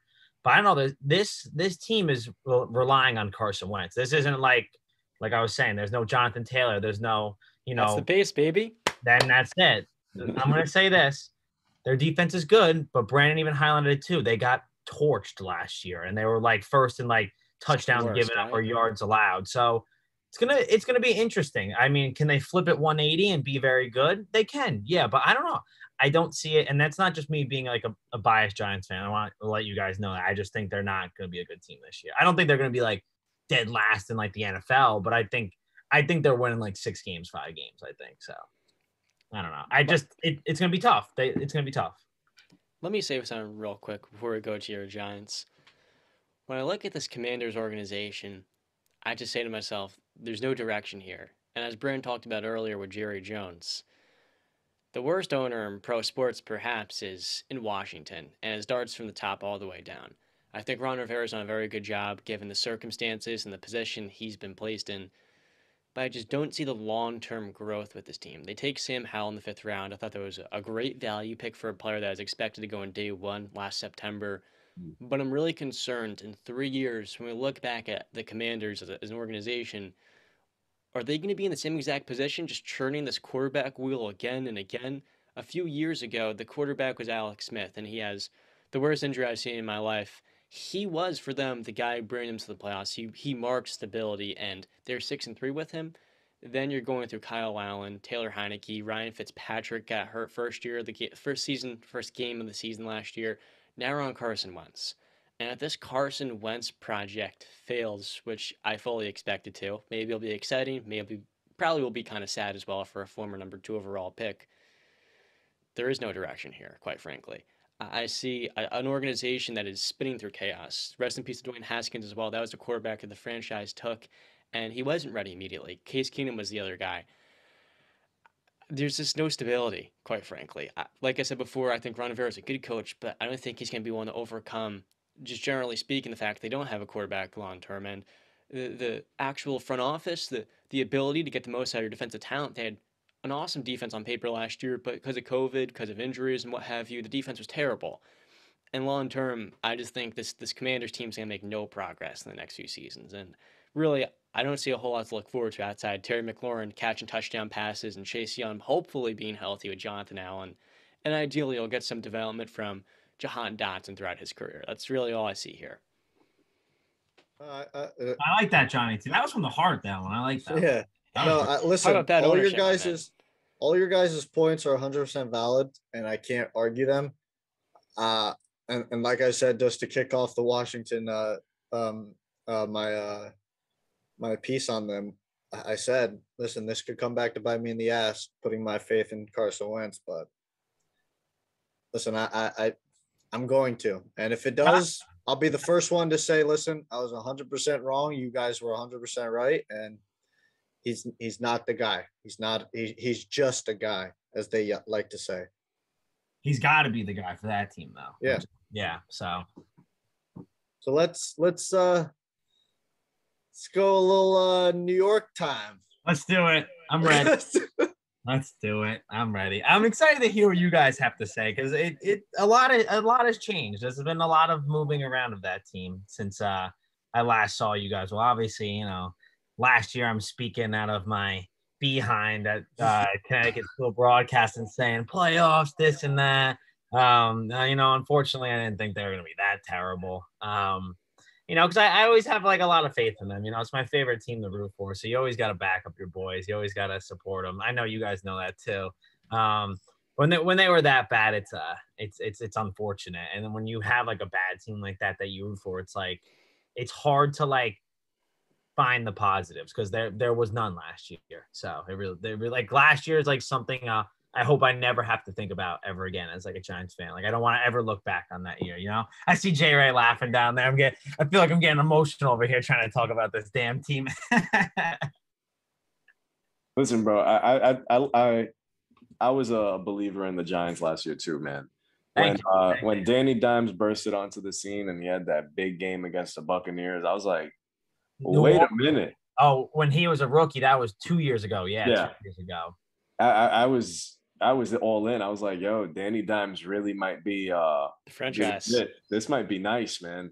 And I remember he had that big game against Philadelphia. I think it was Sunday night where he was running and, and, and fell close to the end zone. But What was worse, my that or the QB sneak on third and nine? The QB, listen, the QB sneak on third and nine is easily worse.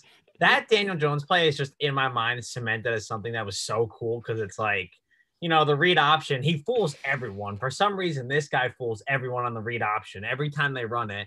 And he's down the field, and I'm like, look at him go. And then, like, I was watching with my college roommates, and then I, you see, like, just one step after another, like the the wobble, and then I was like, there he goes. He went down. falling off. And then Joe Buck goes, he trips, he tripped. I don't know. It's just like a play that, like, it's obviously not like a good play, but I don't know. He ran for like 80 yards. Like, it's a far run for a quarterback. I just thought it was pretty, I don't know, it was pretty impressive for him to do that. So I, I always, it's like a good memory for me, that play. It's not Got like a bad moving. memory. Yeah, right, so let me let me read something to you guys to, to kick off this Giants talk. go ahead. 2017, the Giants finished 13 and 3. 2018, 5 and 11. 2019, 4 and 12. 2020, 6 and 10. 2021, 4 and 13. So I'll kick it off to the Giants fan here. What's the direction? What, what are we looking looking at for this upcoming year for the Giants?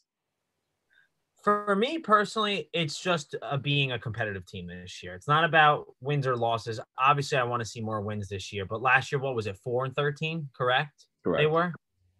It's got it. There, it can't get much worse than that. Like last year was bad. You guys all saw it. Week 17. I was at that game. Their QB sneaking out on third and nine to get better field position for the punter. That Riley Dixon, you know, he just got cut, thankfully, but he was the worst punter in the NFL, and we're gonna give him more field position to work with. Um, whatever. But no, I think the direction I like what they did, how they really like it's finally time. Like you actually, John Mara steps up and is like, we're cleaning house. When they allowed Dave Gettleman to step down, they didn't fire him, which I think is it's very ridiculous to me that they that they were that friendly with that guy after all he's ruined for this team. Um, and I thought they were going to keep Joe Judge too, but I'm happy they they cut him too. They said, listen, we got to start fresh here, and this is the direction we got to go. We got to find a new guy. And Joe Schoen, the new GM, and Brian Daboll, the new head coach, both guys from Buffalo. Um, I like them a lot so far. They have their heads on swivels, you can tell, and they're they're more modern football like guys. They're more up to the times with football. It's not like Dave Gettleman. You know, we're gonna run through the trenches. We're gonna do it old school, this and that. There's a lot to look forward to with this team in the upcoming years.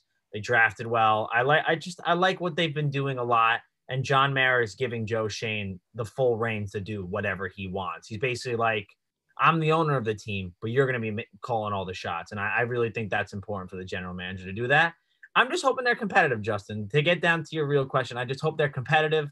I hope they win some games. I hope they make a push for the playoffs. It, it'd be nice. You know, I think the fans, I think the fan base deserves it. And I honestly think the NFL does too. You know, seeing bad teams, it stinks. Obviously, like, oh, like your team plays a bad team. It's like, oh, great. This is like an easy win this week. We need it. But like, wouldn't it be more fun if just every team in the NFL was good and it was a battle every week? And that's how I feel. So I just hope, I just hope they get better. I really do. I'm, I'm pushing for them this year. So I don't know. I got a lot of, I'm always positive, dude. I'm always So, positive. so uh, just to jump on that last point you made about uh, it's better for the NFL, uh, NFL and not.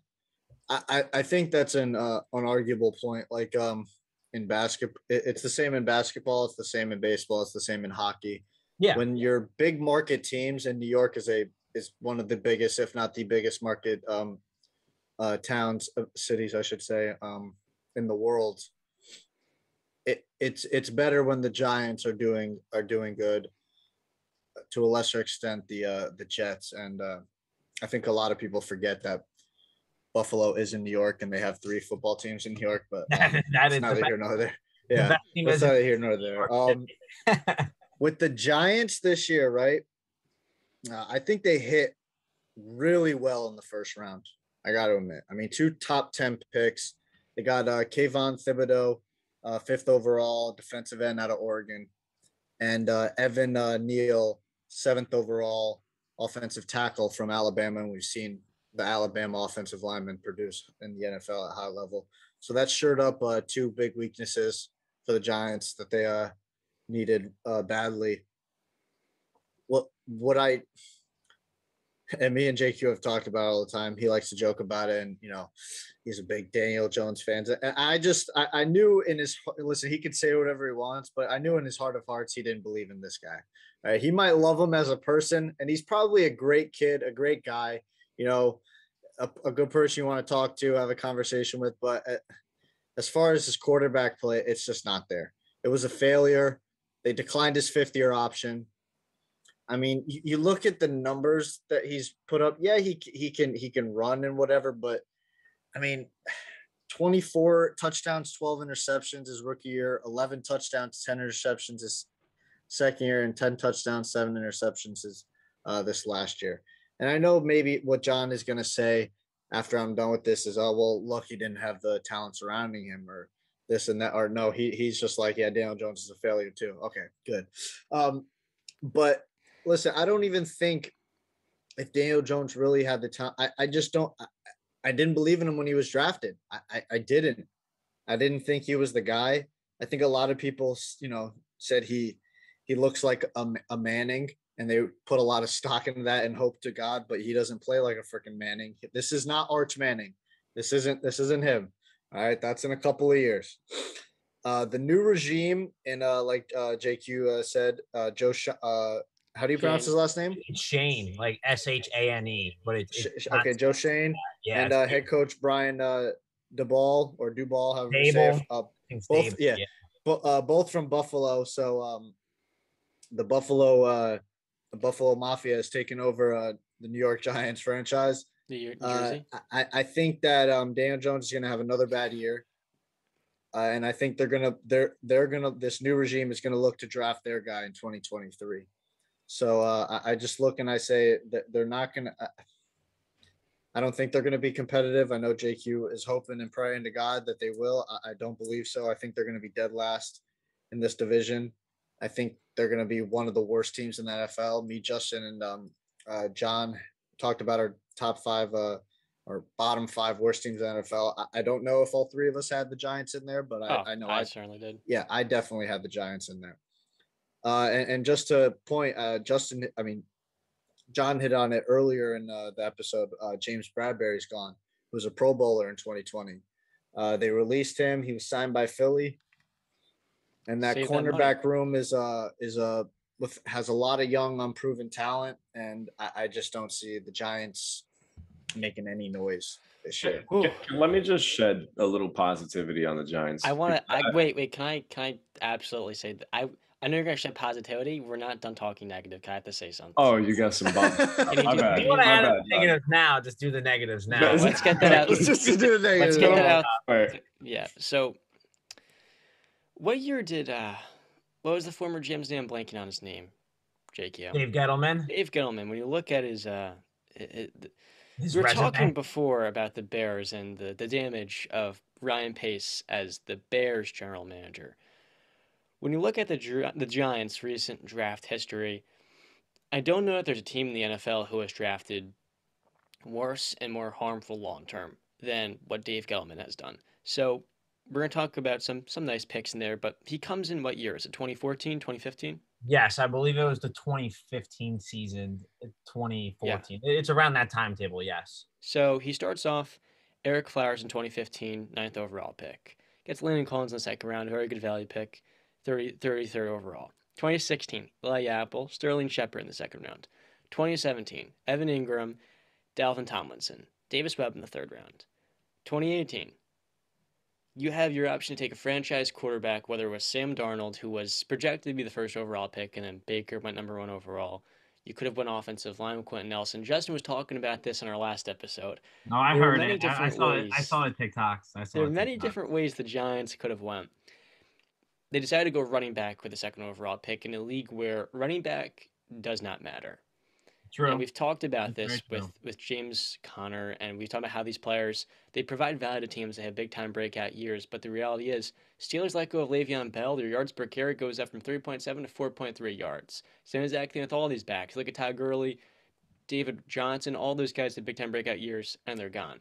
Yeah. Taking a running back in the first rounds when you have no offensive line, And oh, by the way, Eli Manning is going to his final two years and he has no protection. It's a little bit questionable. And you need the Eli Manning successor. Instead, they go running back and then offensive guard. They go Will Hernandez. Will Hernandez, is he on the team anymore? Oh, no, he's on the Cardinals. No. Okay. So then you move on to 2019. They take Daniel Jones, number six overall. He has no protection. It was a very big time reach. We get that. That's their guy. Okay. Dexter Lawrence, pick 17. Is he on the Giants? Oh, he he is. He's a starter for them. That's nice. DeAndre Baker, is he on the Giants? No, he, he is not on the Giants. He got arrested one one summer. Yep, and he is gone. Mm-hmm. Darius Slayton's on the Giants, fifth round pick. Then you look at 2020. Andrew Thomas was a very good pick. I think he had some struggles as a rookie, and then he started to correct that as the year went on. He's progressing to one of the best young tackles, right? You agree as Giant fans yes, watching? Yeah, sorry. I thought I thought you were like pausing for yeah, a second. I, I stopped watching the Giants last year after Daniel Jones went hurt. I didn't watch a single game. I saw the third nine, the QB sneak. Why? You didn't want to watch Mike Glennon at all or Jake Fromm a little I'd rather bit? watch paint dry, personally. Okay. I mean, listen, listen. I, you might find I, I, might have been more entertaining to watch that. Trust me. The I watched around my eyes. Yeah. Likely. But no, yes, Andrew Thomas, yes, that was like his that was probably his best pick um all those years. And it's probably because they couldn't get Chase Young because they the the Washington Jump had the pick before. So. Beyond that, I will give Gilman credit. He took Xavier McKinney in the second round. Last Great year, pick. he made big time plays to you guys. Five interceptions. He had an impressive second year after uh, being injured his first year in the league. So I'll give him credit for that draft. That was a good year. That was that was a good pick. Shout out to him for that that one class he didn't totally screw the franchise over with. I almost just fell over. When we talk about how bad a job he did in 2018 and 2019, there's no coming back from that anytime soon. I mean, you had the opportunity, number two, number six, and you take two players in Saquon Barkley and Daniel Jones. One is overpaid and injury prone. The other is not even getting his fifth year option accepted. So you, you could have went so many different ways and actually valued offensive line and then quarterback to set up a, a young quarterback not to fail. But they set him up to fail. And with Daniel Jones, he is supposed to be a New York darling because when you've been starved of success for so long, and a young guy comes in and gives you moments. Last year against the Saints, you guys have an incredible game where Danny put up 400 yards. Saquon was healthy. Them boys beat a good team in New Orleans, and it was awesome. And through the years, you've seen progress throughout the season in New York. There have been some bad games, there have been blowouts. But you look to 2020, Daniel Jones' second season in the league, they were up there at Pittsburgh, Chicago, Tampa Bay. You look at that season, they were losing. I think they started off 0 4, 0 5, 0 6. Right? Yeah. But you, yeah, the, so. while they're losing a lot, I'm not saying this to, to joke around. In 2020, unlike 2021, when Daniel went down after I think the, the 11th game of the season, yes, you mm-hmm. saw the progress where they were competitive, and, and Joe Judge was getting the collective buy-in from from his players. And Very you're saying to yourself, Judge, hey, look, he may have been a special teams coordinator in New England, but this Giants team is kind of coming together, and they nearly beat Tampa Bay. I mean, you look at the 2020 season, all those games they're losing. Almost beat Dallas. They almost beat Philadelphia. Tampa Bay, like I said two times before, they beat Seattle. I think Russell Wilson was playing that game. You yes, beat Joe Burrow. Joe Burrow, did he play in that game? No, that's that that he got hurt the week before. That's when he tore his ACL. Yep. So they beat Brandon Allen. That's a that's a really hard matchup. And they even beat the Cowboys in the meaningless Week 17 game. There was progress during those years.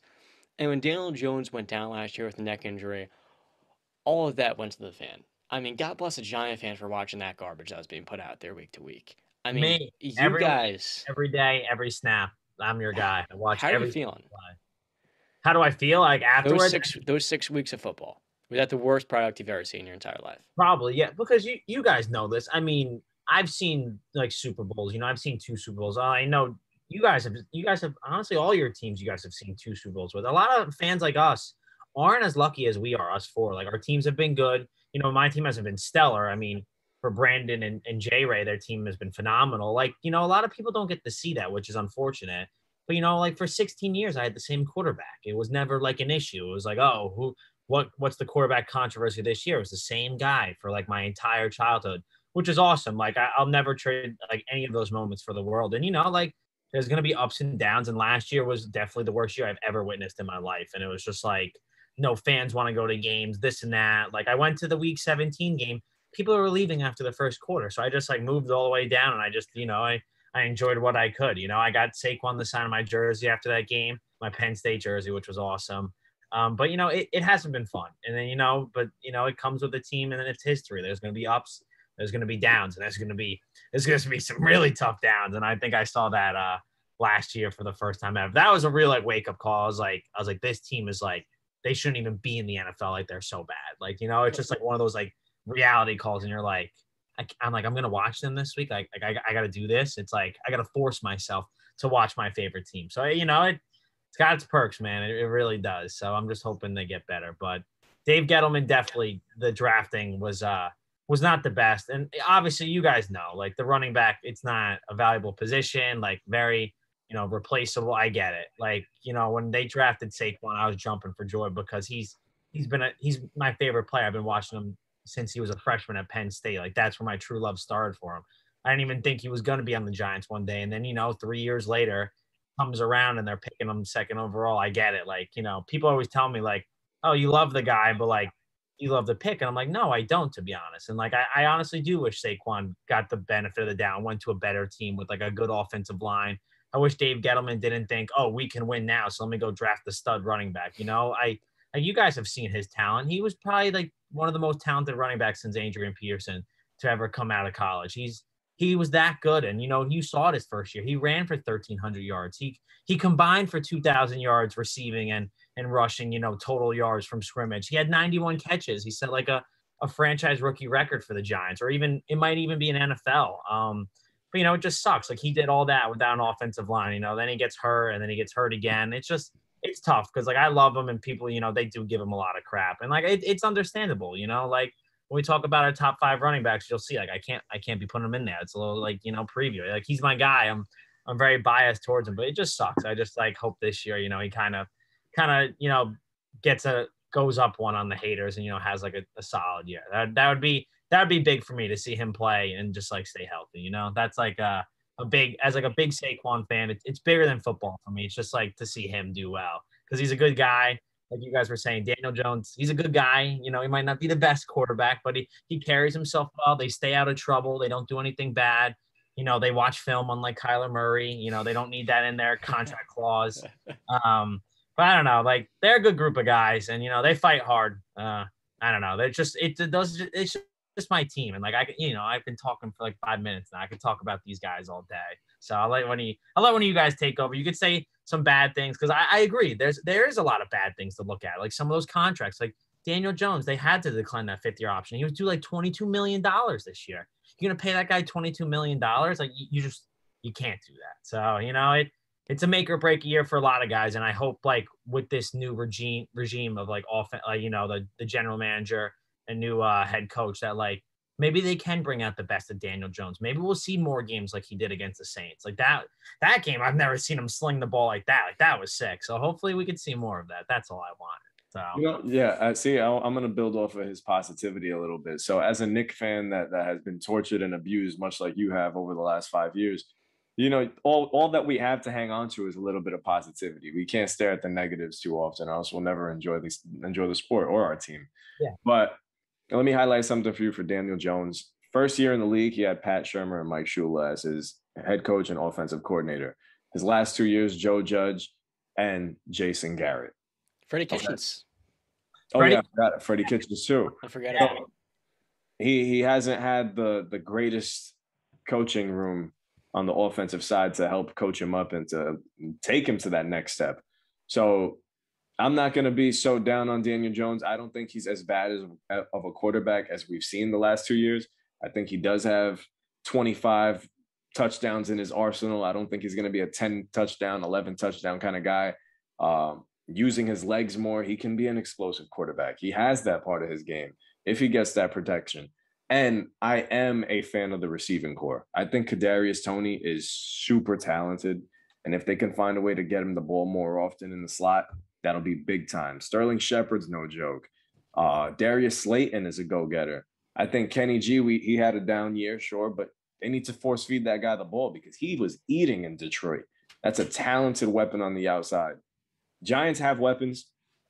They, I'm not going to say they're a playoff team. I think they're far from it. There's a lot of steps that need to be taken. But much like my Knicks, and, I, and I've preached you guys this before, this is a team that I feel finally has a little bit of direction. Daboll and Schoen in the fold. I think Giants have a little something to be more optimistic about. So while this year there may be some pains that that comes with it, but all in all, I think at the end of the season you're going to be like, okay, I got something to be excited for in the coming future. You know. I, hope so. I I mean I think I agree with you with you, uh, Jerry, on your points. I just hope I hope I can see this head coach Daboll stay for at least two years, three years. You know, maybe maybe we get a head coach that stays for a little bit. So, but you know, it it's a it's going to be a, a, year of learning. You know, it's a whole new playbook once again. Mm. Daniel Jones is, I think, third or fourth head coach now, and it's like his fourth offensive coordinator. I think Jason Garrett honestly threw him back in his uh in his building process. I think like you know all like the oh we're gonna stay away from the turnovers, but now Daboll's coming in. He's like I want you to be aggressive. I want you to throw the ball. I want you to take these chances. And I think that's why Kenny Golladay had such a down year. They never they never targeted him, and like they couldn't get him the ball because the offensive line, you know, was a mess. Um, so we'll see. I mean, Kadarius Toney's a baller. I think I think he's to be really good. And you know, we talked about the guys they drafted, Kayvon Thibodeaux. You know, he was at one point five months before the draft, he was the you know consensus number one overall pick. Like everyone thought he was going number one. He drops to the Giants at five. I think they got very lucky with their two picks. They landed right in their laps. And I think Evan Neal's going to be a stud. I really think they're going to be good. And I think a name to look out for this year is Wan'Dale Robinson. I think a lot of people were iffy on the pick at first in the second round. It's like, whoa, another receiver. I just think, you know, Sterling Shepard, he's not healthy right away. He might be ready week one after the torn Achilles, but you know, you got you got a lot of these speedy guys, these quick guys who can, you know, take it to some of these bigger cornerbacks, you know, that don't move well later, laterally. So we'll see. I don't know. I just hope competitive, competitive, competitive just stay in games.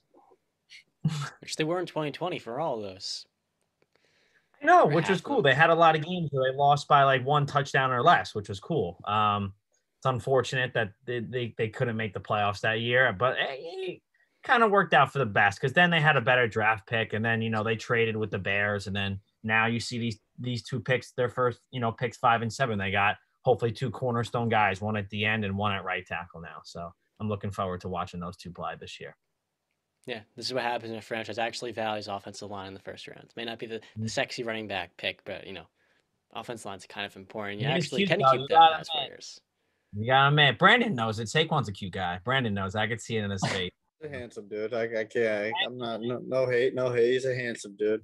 Uh, ju- just to um, just to uh, round out this NFC uh, East discussion uh, I I just do want to say the NFC East really is the NFC least.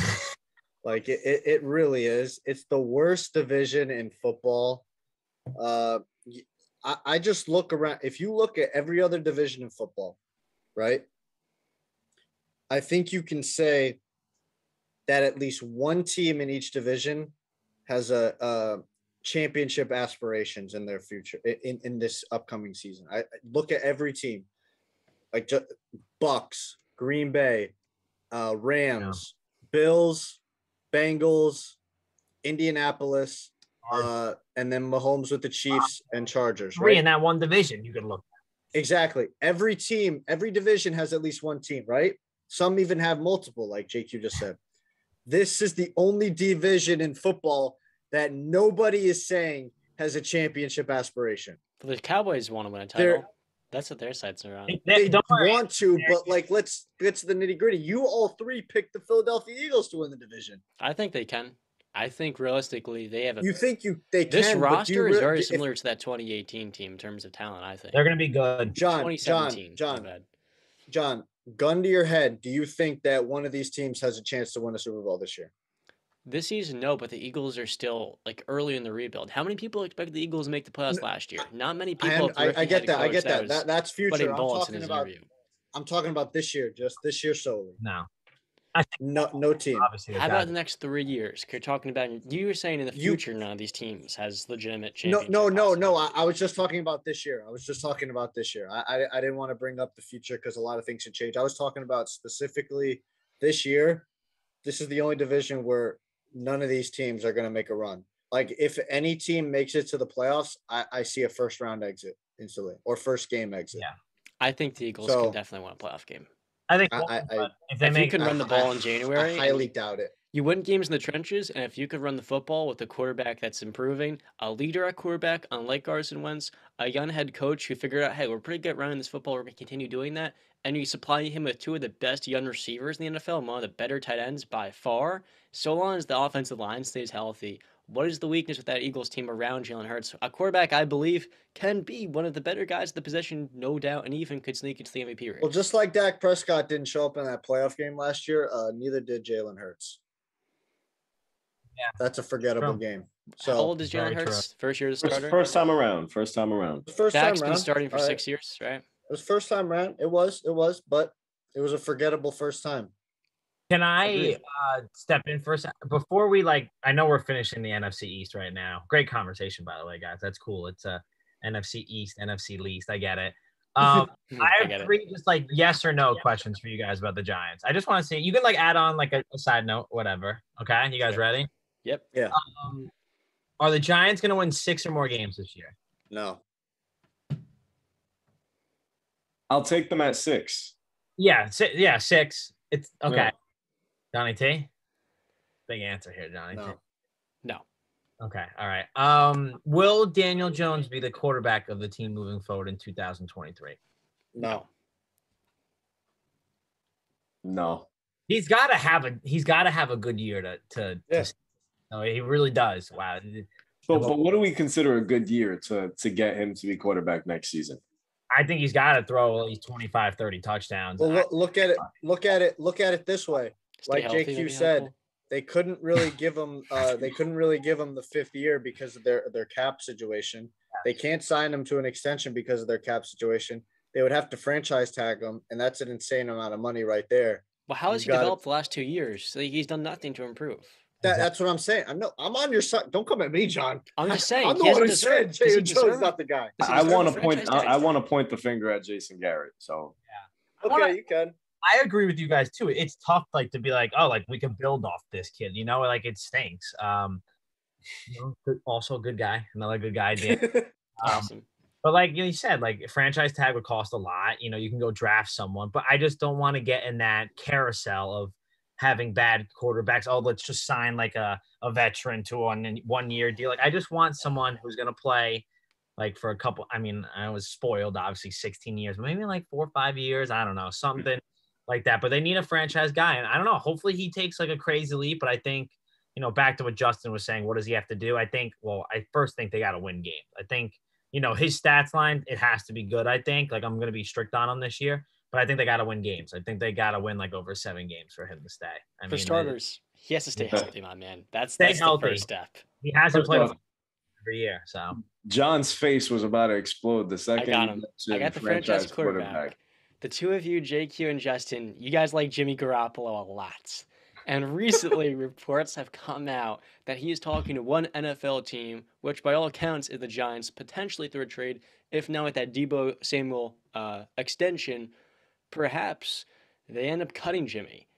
Is Jimmy New York safer the way you guys think? Because he's a solid quarterback that's a winner. And more importantly, he is a guy that's disrespected. Why not put him in New York with Brian Daboll? What do you guys think about that? Is that the That- solution? Is that the franchise JQ, guy? that, JQ, that's bait. Don't take it. I think it's bait, but he cut like six Super Bowls in a row, Jimmy G with the Giants. Um, no, I'm kidding. Uh, It's the problem is, is like if he's even cut, I don't even think the Giants could afford to pay him. They have no, they have no money. Like you know, I don't even think they could. They can't trade for him. They have no value. I mean, they got nothing. They got nothing to work. So I think Nothing. they got to stick with what they got. Next year, they're going to have like over like 72 million in cap space. They're going to have a lot of money next year.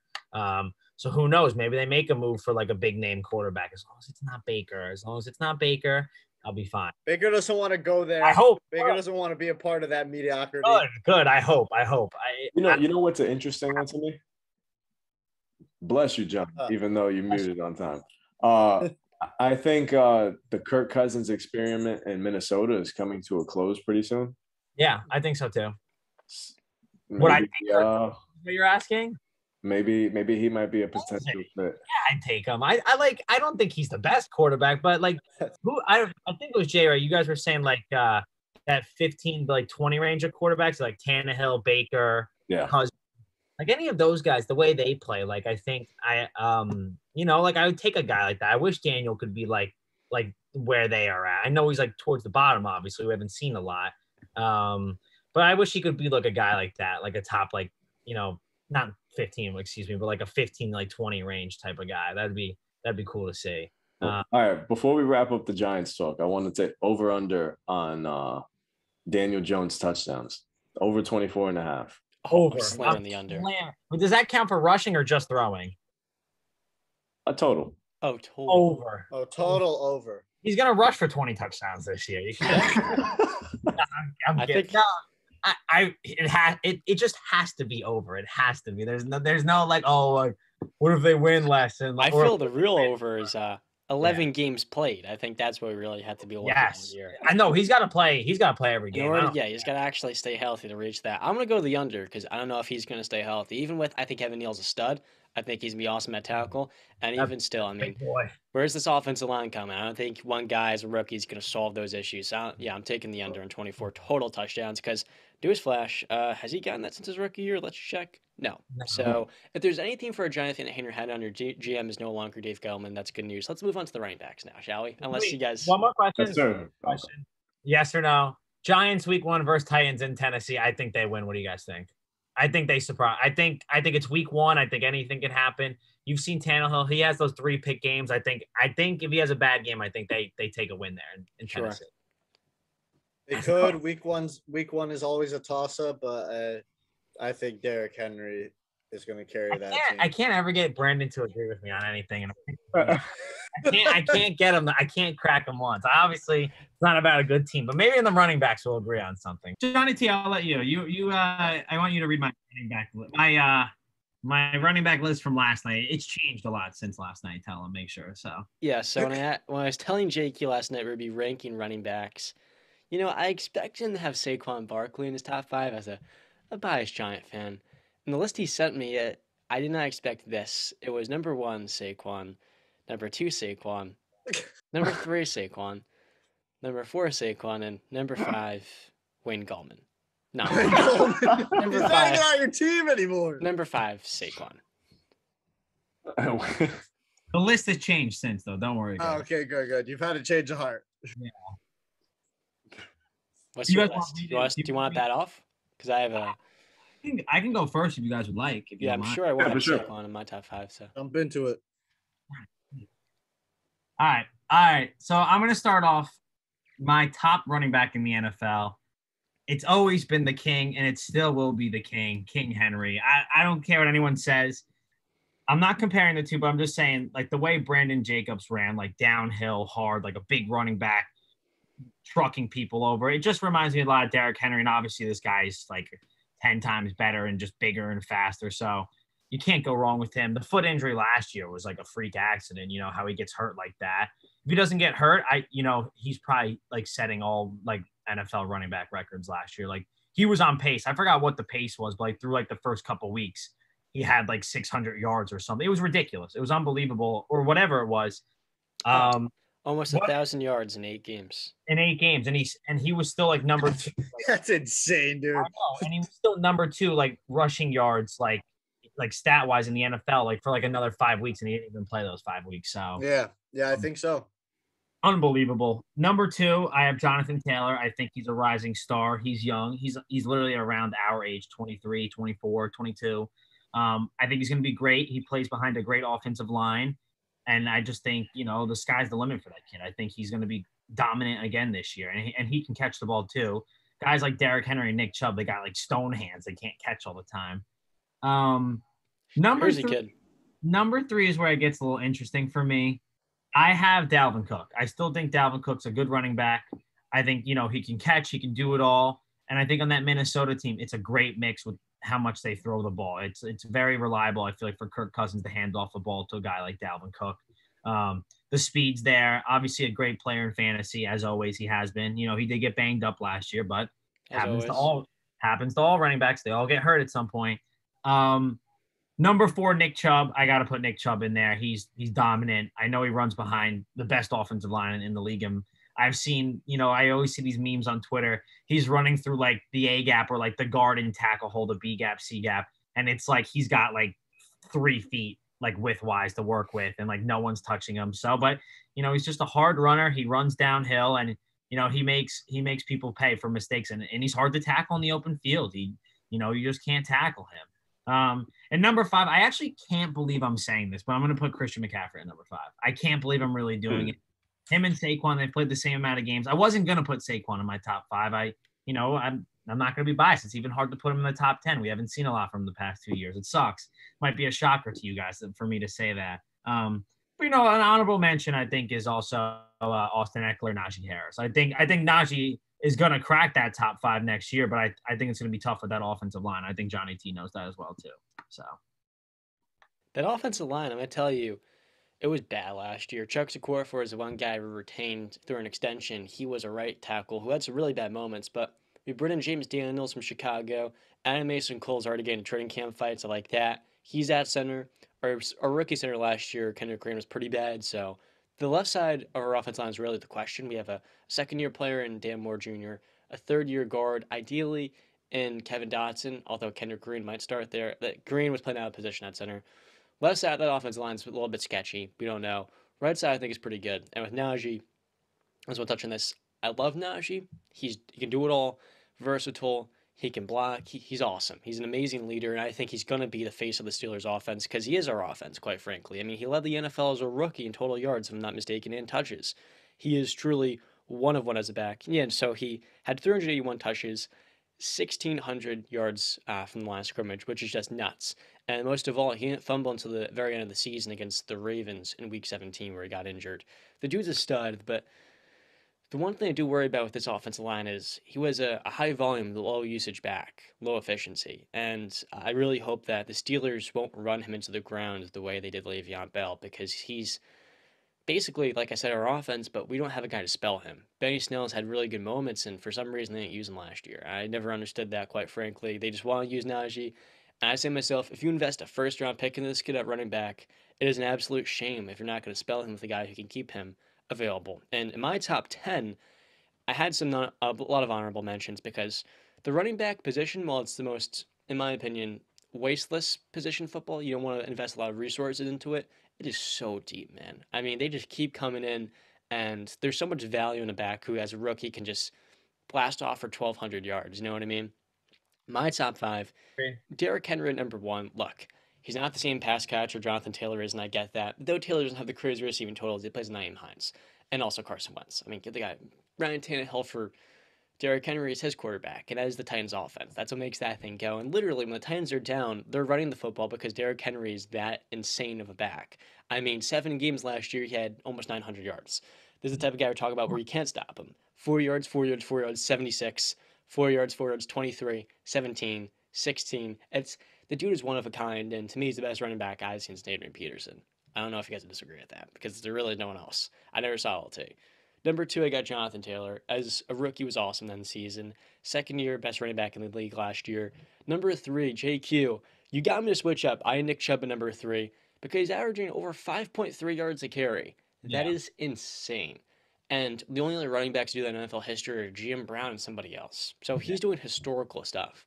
I was gonna say they were they were you know you could flip flop both, but I forgot to mention that. But yeah, I agree. But then you realize, just like Jonathan Taylor, this Browns offensive line, Wyatt Teller, they had J.C. Tretter, Joel Bitonio, Jack Conklin at right tackle, Jedrick Wills at left tackle. To me, that's the best offensive line in football. Would you, I don't know if you guys would disagree with that. I mean, it is.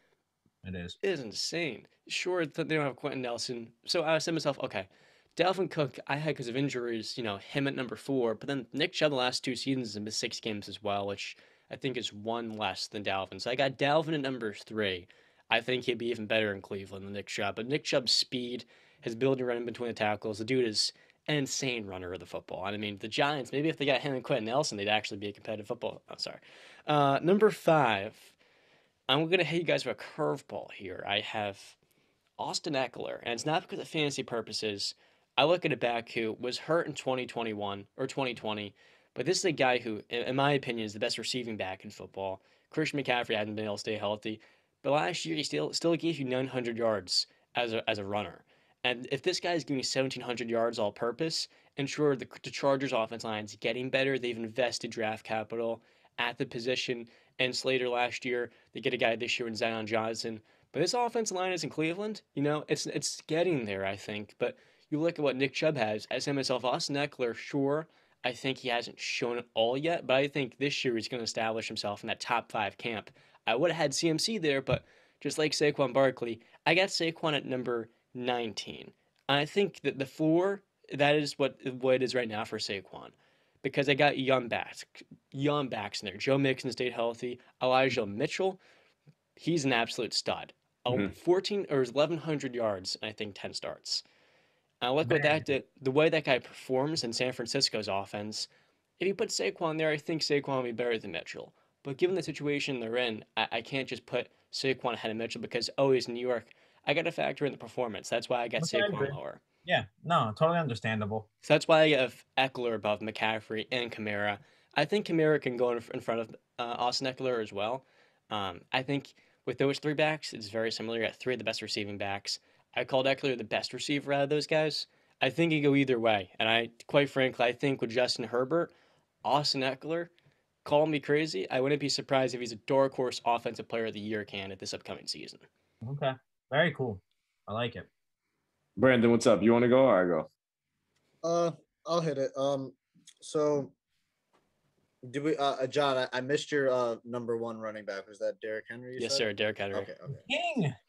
Yeah, the king. Um, and uh, I'm not gonna waver on that. Derrick Henry's the best running back in football. I mean, the uh, he he's he's the epitome of built different in this league. 6'3", 250, a freaking powerhouse who can also, you know, run outside the tackles. And listen, if he gets ahead of steam going, you better get the hell out of the way because you. oh my god. Um, and it's not going to be good. Yep. Um, I mean, if there was ever a posterize in the NFL, Derrick Henry is right next to the uh, definition of uh, posterize. Uh, number two, um, I got uh, JT, Jonathan Taylor out of Indy. Um, yeah, the O line is one of the best in the NFL, but listen, uh, what really separates uh, the good running backs from the great running backs is the their le- level of um, play in the second level and the third level of the defense. Like, what can they do there? Can they break tackles? Can they make uh, people miss? What's their ball carrier vision like? Um, and Jonathan Taylor's vision um, coming out the backfield is one of the best in the NFL. Being able to find small crevices and burst out a big play. I I, I was just looking over a, a little bit of stats on each guy and um, a GIF right here. I don't why they w- want to do this to me, but it's a it's a play of um, uh, Indy against New England where Jonathan Taylor just sees a small little crevice, cuts to the right in the second level, blows by two guys, and bursts for a touchdown. Um, the guy's uh, insane. He's only two years into the NFL, so and and the the the uh, the jump he made from season one to two, 1,100 yards to 1,800 yards is is insane. I, I don't know if he's going to get to 1,800 yards again. He, he easily could. I'm not going to say he's not, but might have like, you know, 1,700 or 1,600, but he's still going to be one of the top running backs in the league. Um, number three, I got Nick Chubb. And the reason I got Nick Chubb is because he's usually always healthy. I know last year was marred with injuries, but that was for the most part, the, all the Cleveland Browns were uh, hit with injury, the injury bug that year. But Nick Chubb is usually a model of consistency. Um, yeah, again, he's got one of the probably the best O line in football. He's got the best backup you could have in Kareem Hunt right next to him. Who compliments but him Nick so Chubb well. gets Nick Chubb gets the job done. Um, just like Jonathan Taylor in the second level, he he can break through tackles. He can make you miss. He, he's going to do it all for you. And and I know JQ joked about uh, the stone hands, but I think Nick Chubb has has got um has worked on it and he's got better in the uh, the receiving uh aspect, especially if Kareem Hunt is out. He's going to have to put on a little bit more of a workload. Yeah. And uh, number uh, four, I got um, I got Dalvin Cook. Yeah, he's been injured, but at least he's still played like 14 or 13 games the last couple of seasons. So it's not like Christian McCaffrey where he's missed basically the last two seasons. So and and you see the numbers Dalvin Cook is able to put up in just 14 or 13 games. It's it's top five in the NFL. So just think if he can put it together, and he's a very good receiving back, very reliable out of the backfield. Uh, D- Dalvin Cook is if can stay healthy, He, he's he's a very special player in the uh, the NFL. And at number um five, it's between McCaffrey and Kamara for me. I'm gonna go Kamara because he's healthier. He's been healthy the last two seasons. McCaffrey has not been. Uh, he had those two great seasons back to back. You know, especially the big one where he had a thousand rushing yards and a thousand receiving yards. That's only been uh, done uh, very few times in the NFL. Think Marshall Faulk is one of the uh, other guys that has done that. So that's a elite company for McCaffrey to be in. And he is a special player when he's on the field, but he just hasn't been on the field. And to um, I'm not. His injuries aren't the biggest concern for me because it's not like he tore his ACL or a meniscus or an Achilles or something like that. Like 20 uh 2020 it was a um high ankle sprain early in the season and then a shoulder injury that kept him out. And then this year it was a uh, hamstring and then a uh, ankle injury later in the season. Now the hamstring can be a problem like for a, a lot of athletes especially when you're running a lot that hamstring can tighten up at moments notice and and you, you're, you're done. You you can't even walk anymore. Uh so that's why i got alvin kamara ahead of him. Uh i, I think he's john thinks Ekeler's the best receiving back. I think alvin kamara is right there with with him if not better um yes he's never rushed for a thousand yards which is crazy to think of that alvin kamara has never done that but that's just because he's getting the work done in so much, and especially he was playing with Drew Brees, and it was a pass-heavy offense. But I mean, he's had a career day. I'm, I'm, pretty sure he's tied the NFL record for rushing touchdowns in a game with six, um, f- five, five touchdown. No, six. six. Okay. Um, yeah. John's messing with you. I had the pinky. I had the pinky on my phone on my hands. I was trying. to Oh, okay, okay. Um, yeah. So, um, Alvin Kamara is a beast. He's been on my fantasy team for the past couple years, and I love having him. The production you get in the running game and in the receiving game is is next level. So that's my top five. What's crazy? So uh, me and Brandon literally have the same exact top five. I was wondering if anybody was going to plug Alvin Kamara there at five. I think he's probably the most talent, honestly, the most talented back out there. But they can knock him for the the yards. What happened, Jiggy? I'm sorry, isn't he suspended the first couple games this year? Yeah, or no. He, or so it's either suspension or injury. It's going to keep him out a couple of games this year. Suspension, I'm pretty sure, right? Is he injured as well? No, I don't. I might be getting him confused with Michael Thomas, but yeah, he, yeah, he's going to miss some time. back from injuries in the yeah, he's missing. He's going to miss some time. Alvin Kamara. But yeah, Justin, I, I do agree. He is he does it all, dude. He catches, he runs, you know, he, he, he can block. He, he literally is like the perfect like mold of like a running back. I feel yeah, like. like I, I just think he's he's so scary. If you get him the ball down the sideline, just oh my gosh, man, he, he makes so many people miss his balance running down the sideline. I've seen so many plays of him staying in bounds while, while so many defenders are coming in towards his way. He's one of the most fascinating running backs. I remember he was even on the radar for New England when he was when he got drafted. I'm still mad, and I got another uh, running back that. So I have Derrick Henry, number one who was number two.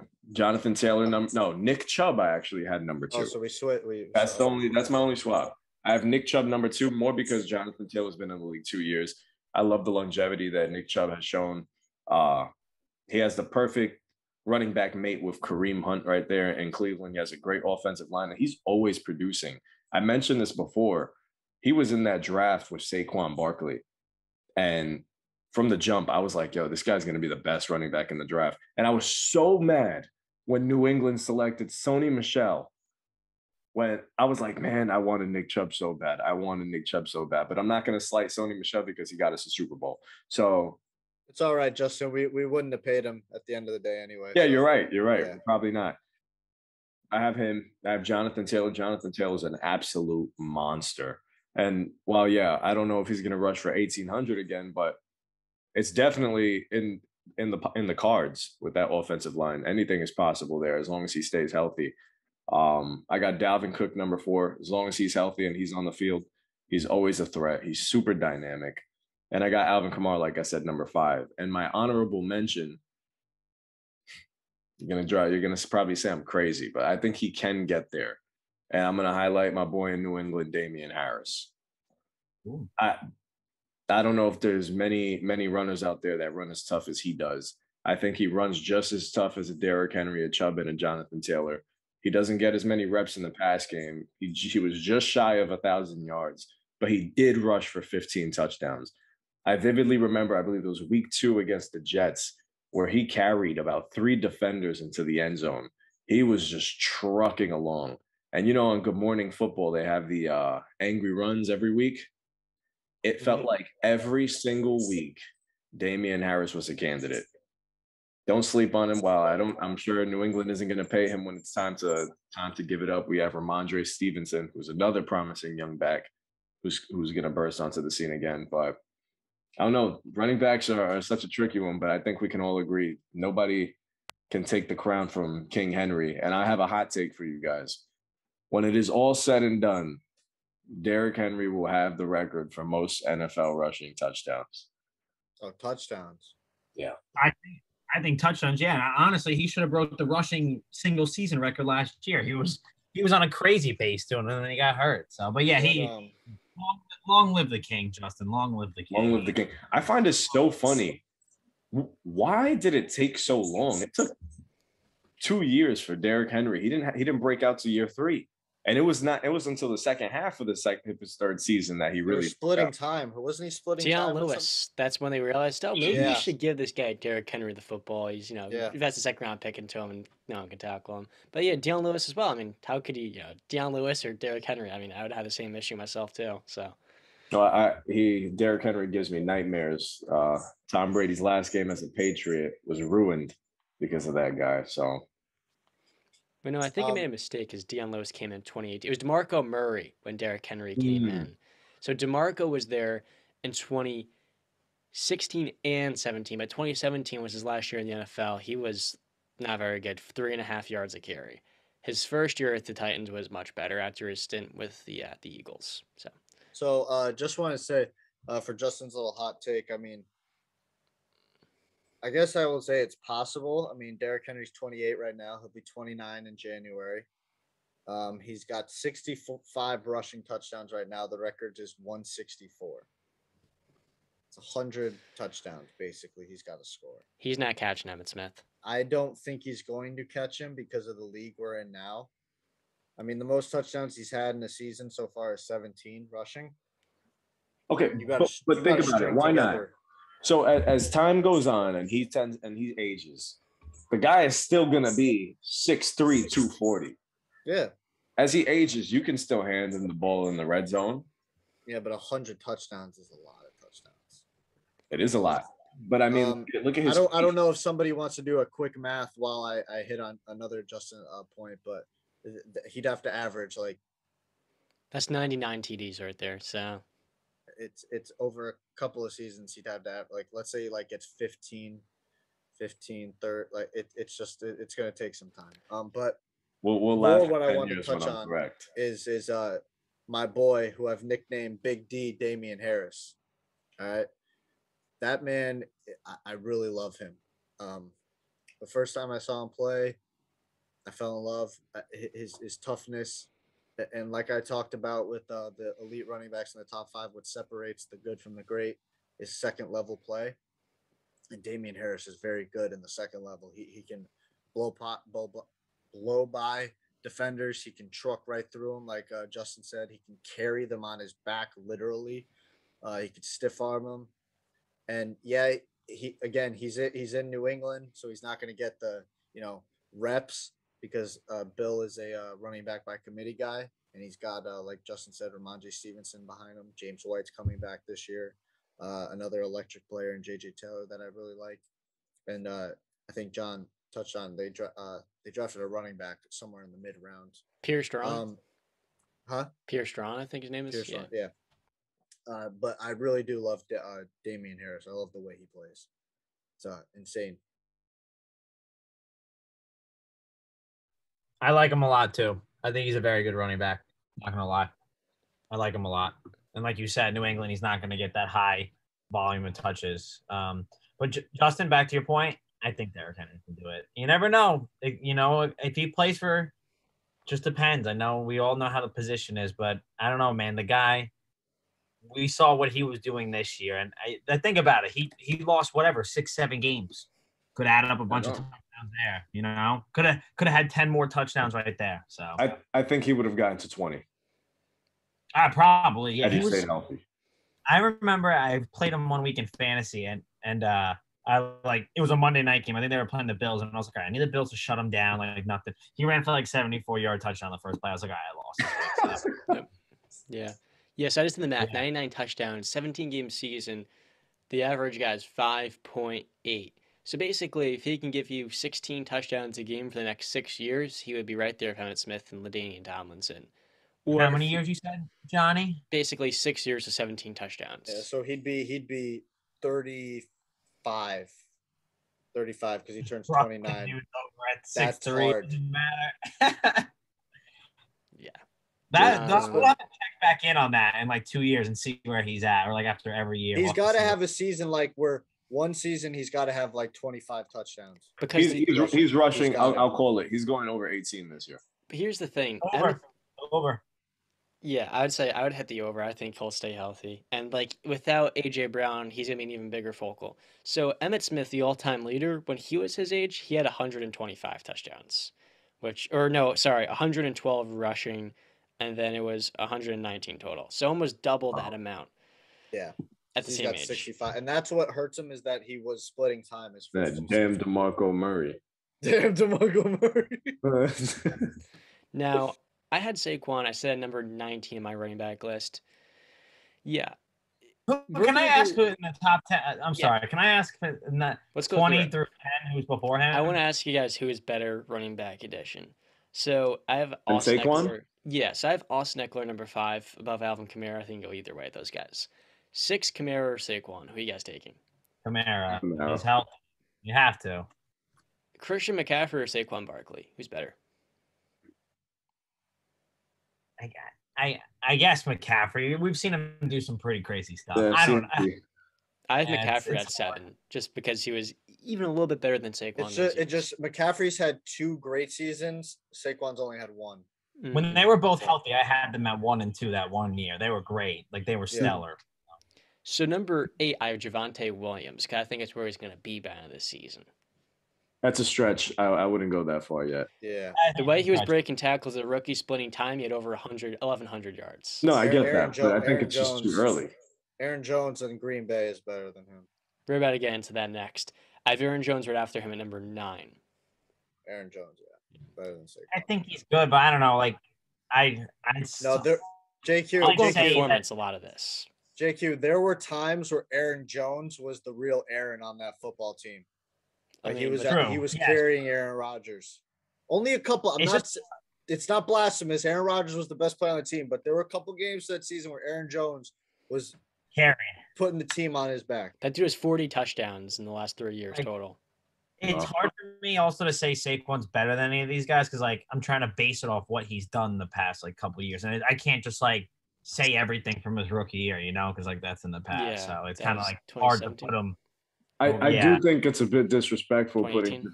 Devontae Williams all the way up there. Oh, He's splitting I- I never- carries with Melvin Gordon. Well, that's the keep thing. my I'm going performance based. I, I gotta stay low. Javonte is a stud. I don't, you guys are going to see next year. I mean, talk about fantasy football. just Take that guy if you're going to play fantasy football. I think he is 1,200, 1,200 yards from scrimmage in one start. Think about that. He's going to be the starter this Mm-hmm. year. I'm telling you, that's not a very good Broncos offensive line. You know, sure, it's it's not as bad as the Giants, but you look at the performance and the production as a rookie. That dude's only going to get better. And the amount of broken tackles, he is a stud. I think he's better than Najee, and that's coming from a Steeler fan. I have Najee at number 10. Who is better, Najee or Saquon? Again, my stuff's off performance mostly. Last two Yeah. years. I'll take guess. Najee. Yeah, I guess Najee. He had a good year. He had a really good rookie. I love Yeah. his running style. Yeah, hard runner. I like him a lot too. I had Elijah Mitchell and Joe Mixon were at, right after Jones and Najee. So I have Elijah Mitchell 11 and Joe Mixon at 12. I'll take Saquon over Joe Mixon. Me too. Yeah. That Bengals offensive Uh, line is not a whole lot better. Mitchell's good. Mitchell's very good. Stud. Mixon's a bomb. I like Mixon. Mixon's a beast. Yeah, Let I me think see he's who underrated. next couple are. Like, I need to hear the next couple of names. Who else is in there? Ezekiel Before Elliott, I have above him at 13. Then I got, who you guys got? Ezekiel Elliott or Saquon Barkley? They're kind of both in the same field because they both haven't played well in the last couple seasons. Well, No, no, if- Zeke's if I'm been getting- healthy and produced the last three years. If I'm getting this version of Zeke, I'll take my chances with the explosiveness of Saquon. The dude can't run between the tackles. I mean, and Zeke can't give you more than four yards now. I'm pretty sure he, he yes he has. Think about the Yes, passing game though. Sa- Saquon's gonna be like Saquon's gonna be playing a lot of receiver this year. He's not just gonna be running the ball. They're actually gonna get him in open space this year. So that's why maybe next year we do another episode and when Saquon, you know, one of the better running backs in the league, or you know, we'll, I have We'll AJ. Dillon above Saquon as well because AJ Dillon's a stud. Whoa! Good luck Uh, tackling that guy. Whoa! Yep. AJ Dillon above Saquon. Yep. That's crazy. No, it's not. Have you seen this dude? No one can stop him. He is don't get me wrong, great, but like Wow. Just like Javonte, 1,100 total yards.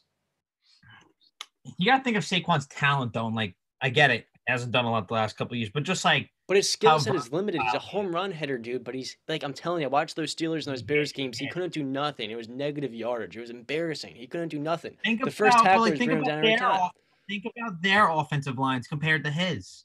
Offensive lines make a, a total difference for a running back's entire career. I, I agree. Like, I'm you think- off performance I- here, guarantee you Nick Chubb isn't Nick Chubb today if he's not in that Cleveland Browns offense. That's without a doubt. But we got to do this off performance. So okay, I know that's why it's tough because he hasn't played a lot in the last two years. But continue. I think AJ Dillon's going to have a longevity. Talking about a guy that's unstoppable, big. 250. I mean, that dude, he can run. He can. He, he's awesome. I think AJ Dillon's going to be better than Aaron Jones in two years, and I have Aaron at number nine. 15, I have Kareem Hunt, which I think that's where Kareem Hunt or Saquon, who's better? Because Kareem's missed time. He's missed. You I know, don't know, yeah, but, like, last year. I, I like Kareem Hunt Yeah, Kareem Hunt's been pretty good. because remember, uh, if it wasn't for uh, some terrible circumstances, he'd be a number one elsewhere. Brent, how got? I didn't get it if you did. You said Hunt, yeah, Hunt, right now. number 16. I got Damien Harris. Damien Harris or Saquon. I mean, he's been Damien, because he's been healthy. and he's a, and he's a good running back. He's a solid running Well, back. A name you haven't mentioned, I hope he's freaking next, is where the hell is Josh Jacobs? Oh, he's actually not next door. The guy after he's he's actually right after with like James Robinson, Leonard Fournette, and Rashad Penny. Number seventeen, I got Miles Sanders. Saquon. Saquon. Saquon. He's been way more efficient. I I Sanders, big Miles Sanders Sanders has been guy. healthy. He didn't score a touchdown last year, and he was healthy. he didn't score a touchdown. yeah. I mean, it's Saquon- committee though. Boston Scott is getting all those touches. That's the thing. Yeah, Doesn't but why was he getting all those touches then? Okay, He's you been get a valid running with point. the Okay, okay, okay. John's like, okay. So I got Melvin Gordon with Miles Sanders. No, I'll, I'll take Saquon No. over Melvin Gordon. Melvin Gordon's got a thousand yards in all but one season in the NFL, and that one season was one he held out in. That's fine. I'm taking Melvin Gordon. You guys got me zero touchdowns. That's that's reasonable because the yards Saquon had 2,000 four years ago, so I'll put Saquon above him. You know. last few hey, hey, years, hey, he had a Miles thousand rushing yards a second season. Mm-hmm. Miles Sanders five and five point one yards a carry. I look at that and I say performance based, the efficiency there. I mean, he's one of the best running backs to me. I think if you know Philadelphia didn't have Jalen Hurts and all those running backs, the committee kind of gained well. I mean, I think he would be scoring half a dozen touchdowns. So, so you guys got me. I had Rashad Penny, James Robinson, Leonard Fournette, D'Andre Swift, Tony Pollard, J.K. Dobbins, then Josh Jacobs. Wow, you Wow. okay? Josh Jacobs is a top 15 running back. is that. Josh Jacobs is a top 15 running back. There's no. I don't like, think he's on. top 15. Yeah, he's not top. Johnny 15. T, I don't think What? He has not lived up to uh, Yeah, no. his stats. I think You know that I'm looking at this stat right now. You realize there's only two players that have broken more tackles than Josh Jacobs. Go ahead and take a guess who those two players. Nick are. Chubb is one. Derrick Henry. Yep. And Derrick Henry, yeah. So I mean, lived up. I, I'll That- put him behind okay, Damien. Harris. Josh but he Jacobs. barely squeezes to, to a thousand yards. Yeah, last year he had 870. he's making in 15 plays. Like he's still making He, plays. he does bro. play a lot. I don't know. I just never like. I, I never you credit. He's had Yeah. 1300, 1300, 1200 three years in the NFL. I think he's good. I think I'll, I'm like above Miles Sanders. I was being a little bit of a disrespectful guy there. Miles Sanders 17. should be at, at number thirty somewhere down there. Miles Sanders is underrated. Sorry. Five Yeah, over five yards a carry. Yeah, but yeah, but Think what he that. runs it twice a game. Yeah, his two rushes, he gets ten yards, five yards a carry. That's what I see it as. So he was. You know, so so one of the things I, I look at my running backs the way I view fantasy, and and fantasy and fantasy running backs are are king. You know, They are so king. I when I look at Josh Jacobs, he's not one of my top of the line backs that I'm looking at because I don't see consistency. Mm-hmm. Some days he, he doesn't crack 100 yards for you. He might give you 50, 60 and a touchdown, maybe, maybe. So I don't have him there for me. Miles Sanders. I think he's, I think he's underrated, man. I We'll think see he this underrated. We'll see. I, it could come back to bite me. Save this clip, please. I Miles Sanders is really good, dude. He's one of the most productive backs in the NFL. I know Miles Sanders is a. Penn State product as well, if I'm not mistaken. Yeah, he is. His back is. former backup. It's now outperforming him.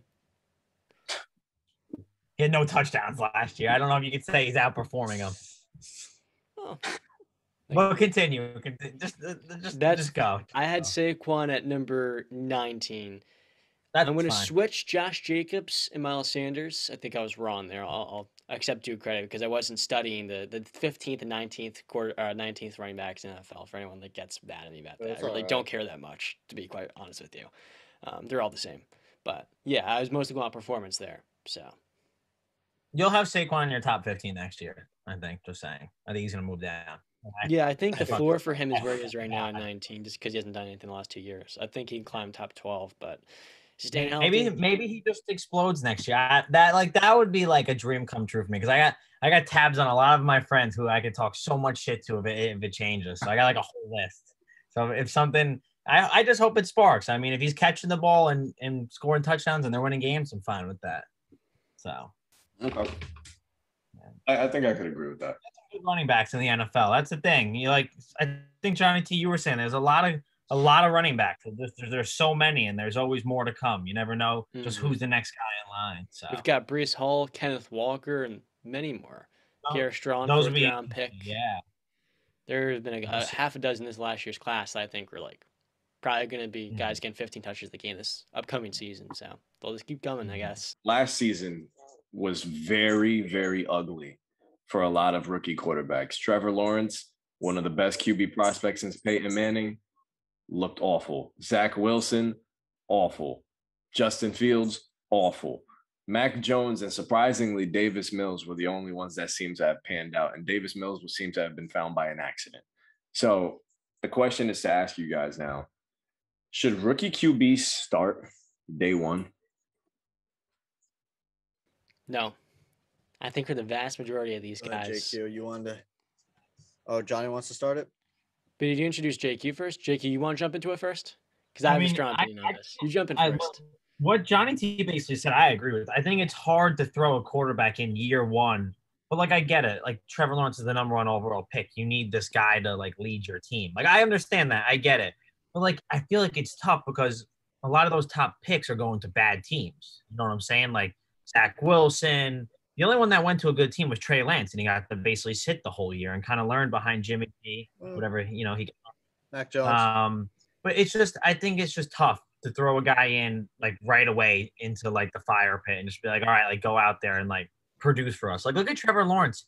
He had oh my god, I'm blanking on his name. Who was his head coach last year? What the heck's the guy's name? Urban Meyer. Urban yes, Meyer. yeah, I'm sorry, Urban. Like I, I forget it because it's a he, he should forget about that timeline in his career. Yeah. He's got Urban Meyer. The guy's like not even half there, like half the time, like paying attention to. I think it's just hard to win and succeed in a situation like that, and then it makes him look bad. And they're like, "Oh, he's the number one pick. He should he should shine right away." So I just think it depends where like the player goes. Like Daniel Jones' first year, he he sat the first two games, and and then he ended up playing the third game. They benched Eli. Pat Shurmur benched him. So. And you know, you saw like he had that sick game against the Bucks, but then the rest of the year he was just getting killed, turnover prone, this and that. I just think it, I just think it's tough, you know, um, for a quarterback to come in right away and succeed. But I think like year two, you sit out a year. I think a lot of these guys could shine and really show their true potential. So I think you look at first overall picks.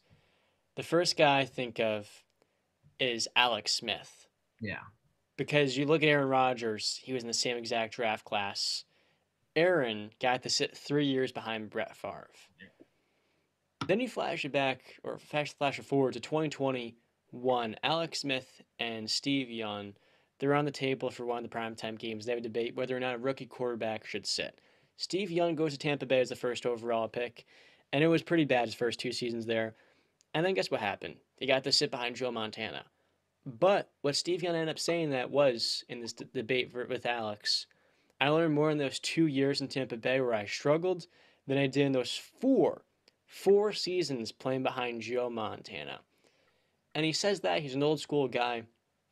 I say to myself, maybe for him that was the case, but for most young quarterbacks today, there is a big difference between sitting behind a Joe Flacco who's been in the NFL for over a decade, or even even if it's a Nick Foles or Andy Dalton, a veteran that's been there, and you get to see him run your offense. You get to see the mistakes he makes on film. You get to correct those, and in practice, that game week, you're constantly watching them. You're preparing as if you're going to be the starter, and so you get that expectation of what the NFL is, and it could really feel out what it's going to be like when you step in there. Because if I'm a franchise investing a first overall pick into a guy, it's such a big opportunity. I'm going to do everything I can to set him up to succeed. And the biggest young thing for a quarterback, we were talking about Carson Wentz before, is confidence. It's the belief in oneself. And I look at the NBA, when you throw a quarterback out there or a young player and they suck and they're losing, that changes their mindset in many ways. You're losing your first four years in the NFL. That can affect you because then when it's time to start winning, and you've been losing for four straight years.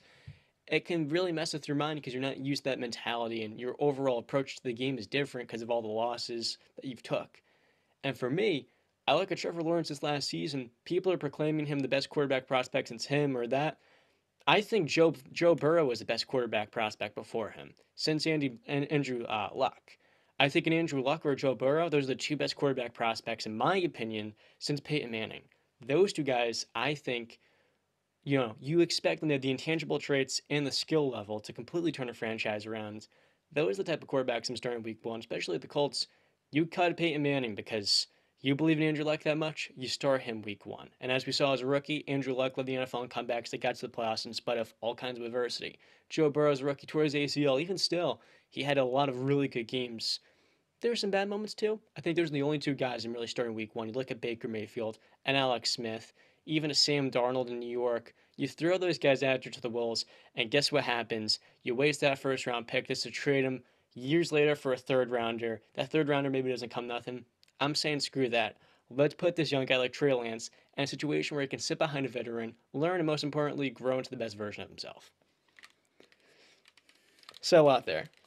Yeah, I know, but it, a lot of a lot of good uh, points you made. I, I, I, I would just I, would- I would also say uh, to add to that list of QBs that succeeded right off the bat, Cam Newton. He had an incredible, I think, back to back games in uh, first two games in his rookie year.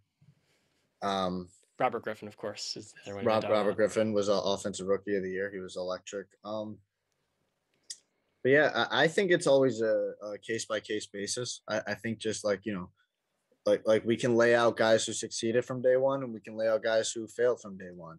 Uh, it's all about it's it, it, it, it, a lot of factors go into it. You know, situation, um, coaching staff.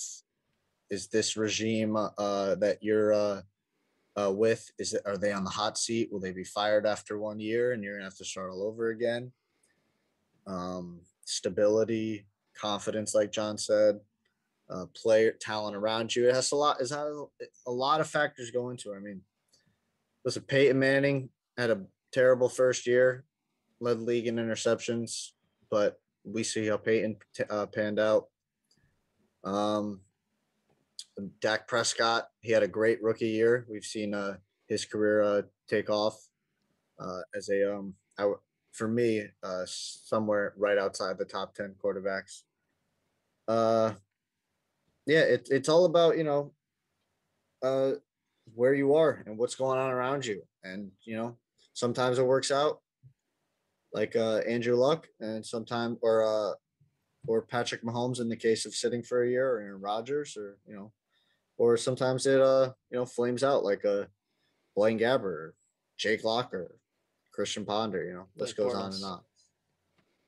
You know, I'm quarterback. I'm a big believer in the saying, "What doesn't kill you makes you stronger."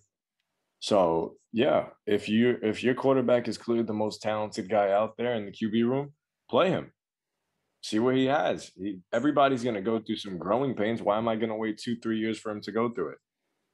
I don't I don't see that. I, I honestly Think about Jared Goff. Jared Goff walked into a terrible situation with the Rams with Jeff Fisher as his head coach, and it was a disaster when he finally got the quarterback job. And I don't think he started right away that season. He came in later on that year, and it, but it was ugly. And then next season, you know, everything that he went through that previous year, he grew upon it, he built, and then he leads his team to the playoffs. You know, and granted that they had a different head coach, but I, I feel like you should play them, man. I think Zach Wilson will be better because of this. I think Trevor Lawrence, 12 touchdowns, 17 interceptions, he will be better because of it. I think you just got to throw out throw it out there. I think players are just too soft. If we're gonna be like, oh, his confidence is gonna be hurt. Oh my gosh, no, grow the hell up.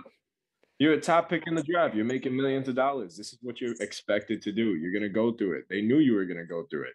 So you play it out, and then if you don't get better from it, then then you just were never the guy in the first place. If you can't get better from it, look, I look at that. You, you guys mentioned RG three Andrew Luck was in there. Russell Wilson was there. RG3, I think that they all made the playoffs in their rookie season. Am I right? Yeah. Wilson and Griffin, yeah. I believe Yep. so. Yeah. Yep. Yep. Just throw them out there, man. They're not kids. They're not kids. They're in their 20s. They're making millions. You play them. Like I said, if they can't handle it, if they play poorly that first year and they can't grow, then they were never your guy in the first place. I get behind that. Hundred percent. I get behind that. You know, I do agree with that too, J J Ray. That was a very good uh point too. Very well presented too, J Ray. Appreciate it, bro.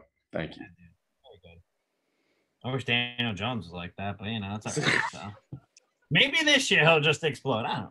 So, Maybe, maybe, maybe. Probably not though. Maybe the Joneses will go off this year, Brandon. Joneses. Jones is That leads us to check it up, I think, since we're done talking about Daniel, fortunately. two men. Yeah, so Uh, two minute drill. Two minute drill. Explain want- this to me. Huh? Explain So this to me. We're still inaugurating this idea. For the NBA, it's called Check It Up, where you have an uh, interesting topic that's maybe not worth a full segment, but it's an important headline you want to hit on. It doesn't have to be related to the sport that we dedicate this episode to. So, for football listeners, if you made it to this point and you want to listen to some MMA stuff we may discuss, thank you for being here. But if you do, you're here along with us for the ride. We're going to have some casual talk. We're going to have some, more importantly, some expert talk. So, we're talking a little bit of everything where your, your story may be. That's our two minute drill. And for two minute, for the NFL stuff, we'll try to keep it under two minutes. But if it's MMA, we'll give you a few more. So I want to keep Okay, it short. cool. Do you want me to hit it? Yes, sir. The big thing going on last night. What was it? Okay, so big UFC pay per view last night. Um, considerably, it was a quick pay per view. Uh, actually, you know, usually it goes on later. Um, for uh, the first four fights of the uh, main card all ended in finish. Uh, the main event was a uh, five round decision.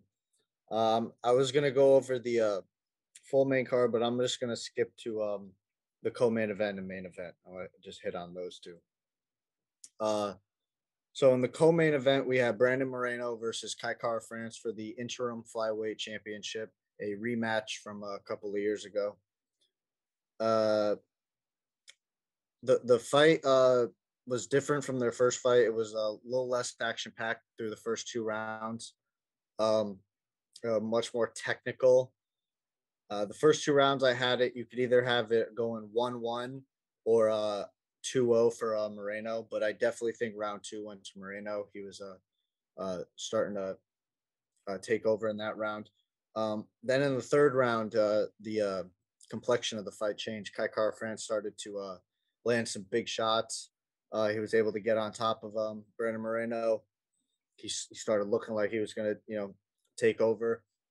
He was winning that round, but uh, uh, later in the round, uh, Brandon Moreno lands a, a nice uh, combo on uh, Kai Kara France, and uh, as uh, France is backing up, Moreno throws a uh, left body kick, and the uh, toe of Brandon Moreno literally digs square into the uh, midsection of Kai Kara France, shuts his body off. He drops to the floor. Uh, Moreno gets on top of him, lands a couple of shots.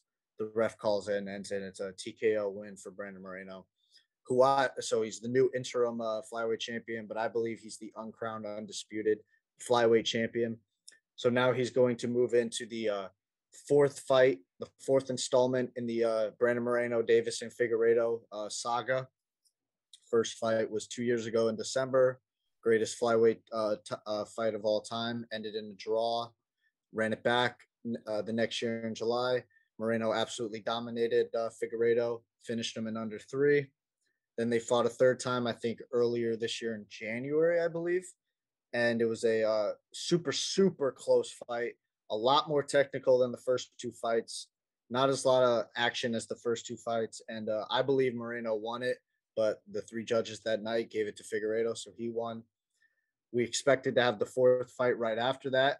Uh, Figueiredo uh, refused to fight Moreno because uh, he felt uh, Moreno was saying dis- some disrespectful things about him, which I find a little funny because Brandon Moreno, if you if you just listen to the guy on interviews or uh, his fellow fighters or um, MMA reporters, uh, the boss Dana White talk about him, he's one of the nicest guys you'll ever meet. Uh, he's, he's got nothing bad to say, and, and it showed at the end of the fight in his uh, in his post fight interview. He uh, Deiveson Figur- uh, was called into the octagon. They had a little face off, and Moreno uh, basically said face to face to him, he was like, "Listen, uh, I don't hate you. Uh, I like you. I respect you. I um, I hope that you can forgive me if I've said anything that offended you or anything, and uh, I forgive you for anything that you've said against me." And he basically said, "I want to. I could come in here and uh, you know talk trash to you and belittle you, but." Uh, I think about my family at home my kids, my wife, all the fans uh, around the world. And I said, uh, he says to himself, um, I want to be a better example and a good role model. So he puts his, uh, extends his hand for a handshake. They shake hands and uh, the beef is squashed. So now we're moving on to the fourth fight. Hopefully later this year in December, maybe earlier next year. But that fourth fight is going to be the first time in UFC history two guys fight uh, four times.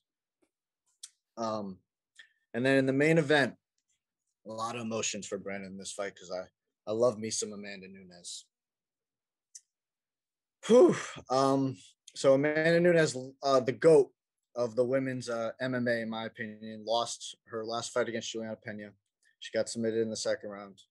And I kind of went into that a little bit, so I won't go into it right now in the, uh, last episode that we did. So the first round, um, you know, starts off kind of slow you know, methodical. I, I give the round to Nunes, um, and I tweeted throughout the entire fight, so I'm I'm just gonna basically read them uh, verbatim. So, uh, the first uh, round one to Nunes, Pena had a couple nice flurries, but Nunes controlled the majority of that round and was the aggressor. Going into round two was round two was stuff of champions. It's what champions are made of. Uh, Amanda Nunes knocked her down three different times, absolutely dominated her. It was a 10 8 round. Um, she fought so smart and so patient. Every time she knocked her down, all three times, she could have engaged on the ground, but she decided not to because she was beating her up on the feet. And she basically said, Get back up. Let's do this again. Let's go. I'm not going to go down there because that's what led to um, my defeat last time, which uh, knocked off my uh, gas tank. So she didn't engage, which I thought was uh, incredible. Going into round three, then I was shocked, and Nunes decided to engage in the grappling department with uh, Pena. She she started to take her down. She was being really effective, which landed some big shots. She landed some nice elbows, one that split uh, um, Pena wide open right on the hairline of the uh, uh, head. Uh, she started gushing blood throughout the rest of the fight. Uh, now, I will say Pena was showing some uh, good technique. She was trying to get a triangle in. She was trying to armbar. She was trying to omoplata. She tried a bunch of different things to try and submit Amanda, but Amanda was just one step ahead of her and was just playing the smart game, not overextending on the ground.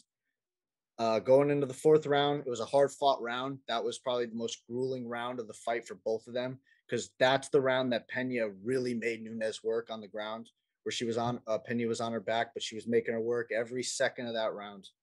Uh, and she had three attempts in the omoplata, which is a hard thing to explain. But if you saw it, each time Pena had Nunes's glove, which is against the rules, you're not allowed to grab the glove.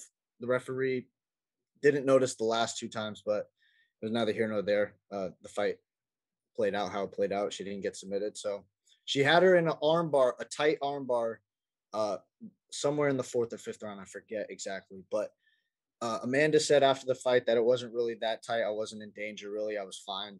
So, but you saw Pena crank her in her face. She was like, "This is my last effort. This was it." She didn't get it done, and then the fifth round was pretty much the same. She just took uh, Pena down. Pena tried to throw up submissions and stuff, but nothing was working. So I, I tweeted out, "The goat is back, double champ, twice. This is a two-time double champ now. Another record in the legacy of Amanda Nunes. Uh, the, the fight ended in uh, in my opinion, it was 50-44. Um, so I love it, and uh, I can't. I hope the next fight is um, Valentina Shevchenko versus Amanda Nunes, the trilogy.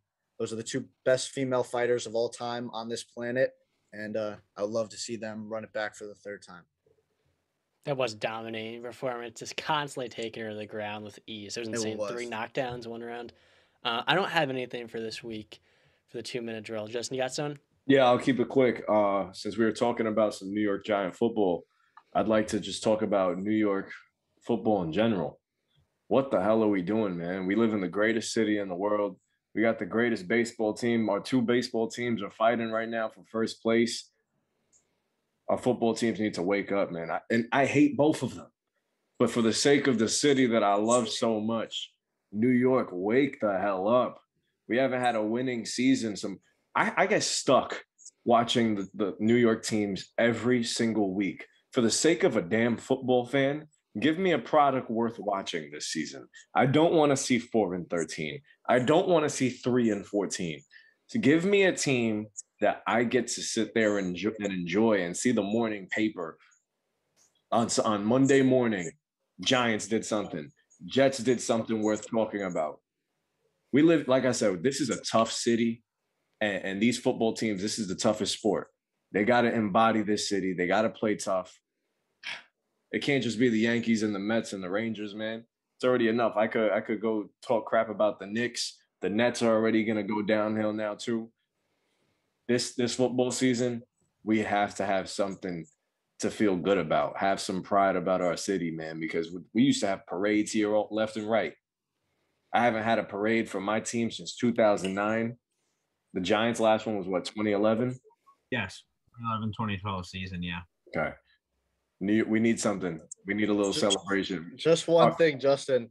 I love it because it's something I touched on earlier. There's one team that you didn't match, which is the forgotten New York team, the Buffalo Bills. No. Again, they don't count. They they could this win. is and why they're- I said when I did that fun little topic, the Bills need to leave Buffalo. I know Buffalo loves them, but they're always forgotten as a New York team. Go to Canada; it'll be great. That's- yeah, that's right. If they if they win, everybody in the city won't give a damn. Their parade isn't in in, in downtown. Buffalo. Justin is basically saying what Stephen A. said: New York, stand up. We here. Nah, we ain't here yet. We You ain't I, I, I, I wanna. I want us to be. We got some. Yo, yo, but maybe we might be celebrating a little something in October.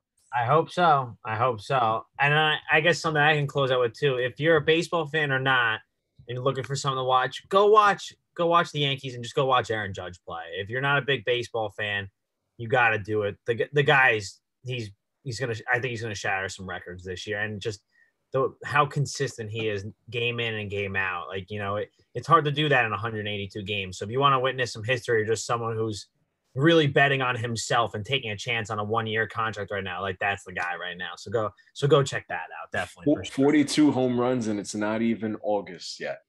Got still what, like 60 games left, maybe something like that. So Do you guys consider the record with the steroid use at 80 or what have you, or do you consider it at 61 for the AL? I think that's what it was. it's the AL 61, right? One.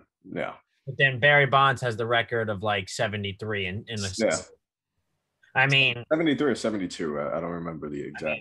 well, hell with that. I mean, he's already at four, 42 home runs now. He got 60 games. left. You never know, but I think he'll reach that 60 mark for sure. I think so. I think, uh, I mean, if he's going to, in his last 14 games, he has 12 home runs. It's, it's, a, it's insane. mind I don't know, man. He, he's, he's Guy- on, he's on He's pace. batting 500 over his last 12. Yankees, give the man the money. Pay him. We have it. Pay him. That's all I got to say. We can wrap up on that. Well, Johnny Manziel, Well, Johnny Manziel. Give him money. Guys, oh, I just boy. want to say too, like I really appreciate you guys having me on. This was a lot of fun. Uh, you know, it's always good. I think I said in the beginning, I said CVS, I meant CSB. By the way, I, CSB. I heard that in my voice. I was like, wait, hang on, what did I say? But anyway, like, you know, I'm happy we made a friendship and uh, you know that we still keep in touch. Um, it's really nice. You guys are doing a great job with the show. Uh, it's popping up on my TikTok for you page. That that's how you know you're doing a good job. So uh, good job, guys. It's it's always good to hear from you guys. Always a pleasure. And let's just hope our teams for football are good. And you know, the teams we respectfully root for. Um, yeah, and that's, that's all I gotta say. So thanks again, guys. I I, I appreciate it a lot. It's a This Thank is you for JQ's appearance, but it definitely will not be his last. of course. JQ, if you want to give your uh, Twitter or something where people can follow you or see what you're doing. Yeah, just uh at Jack Dash Quartararo. It's it's a long name to spell out. Um, but We if, got the we got the pop up. yeah, Yeah, definitely. we'll put it on the screen. Um, but yeah, no, I'm definitely gonna get you know my podcast up and running again in the fall. Talking Big Blue with JQ. Um, if you're looking for Giants content, you need a guy. I'm always spitting it out. So once the season really you know starts to kick underway, I'm gonna start getting back into it. So, but guys, once again, appreciate you boys. What, what a blast it was, and yeah, let's let's go. Yes, indeed. That was episode number thirteen. Thirteen. Justin, go. send us off, baby. Let's go. All right, all right, wise guys fans. Thank you for listening. You know the deal. Follow us on our socials, like, comment, subscribe, all that good stuff. We love y'all. Stay classy. Peace.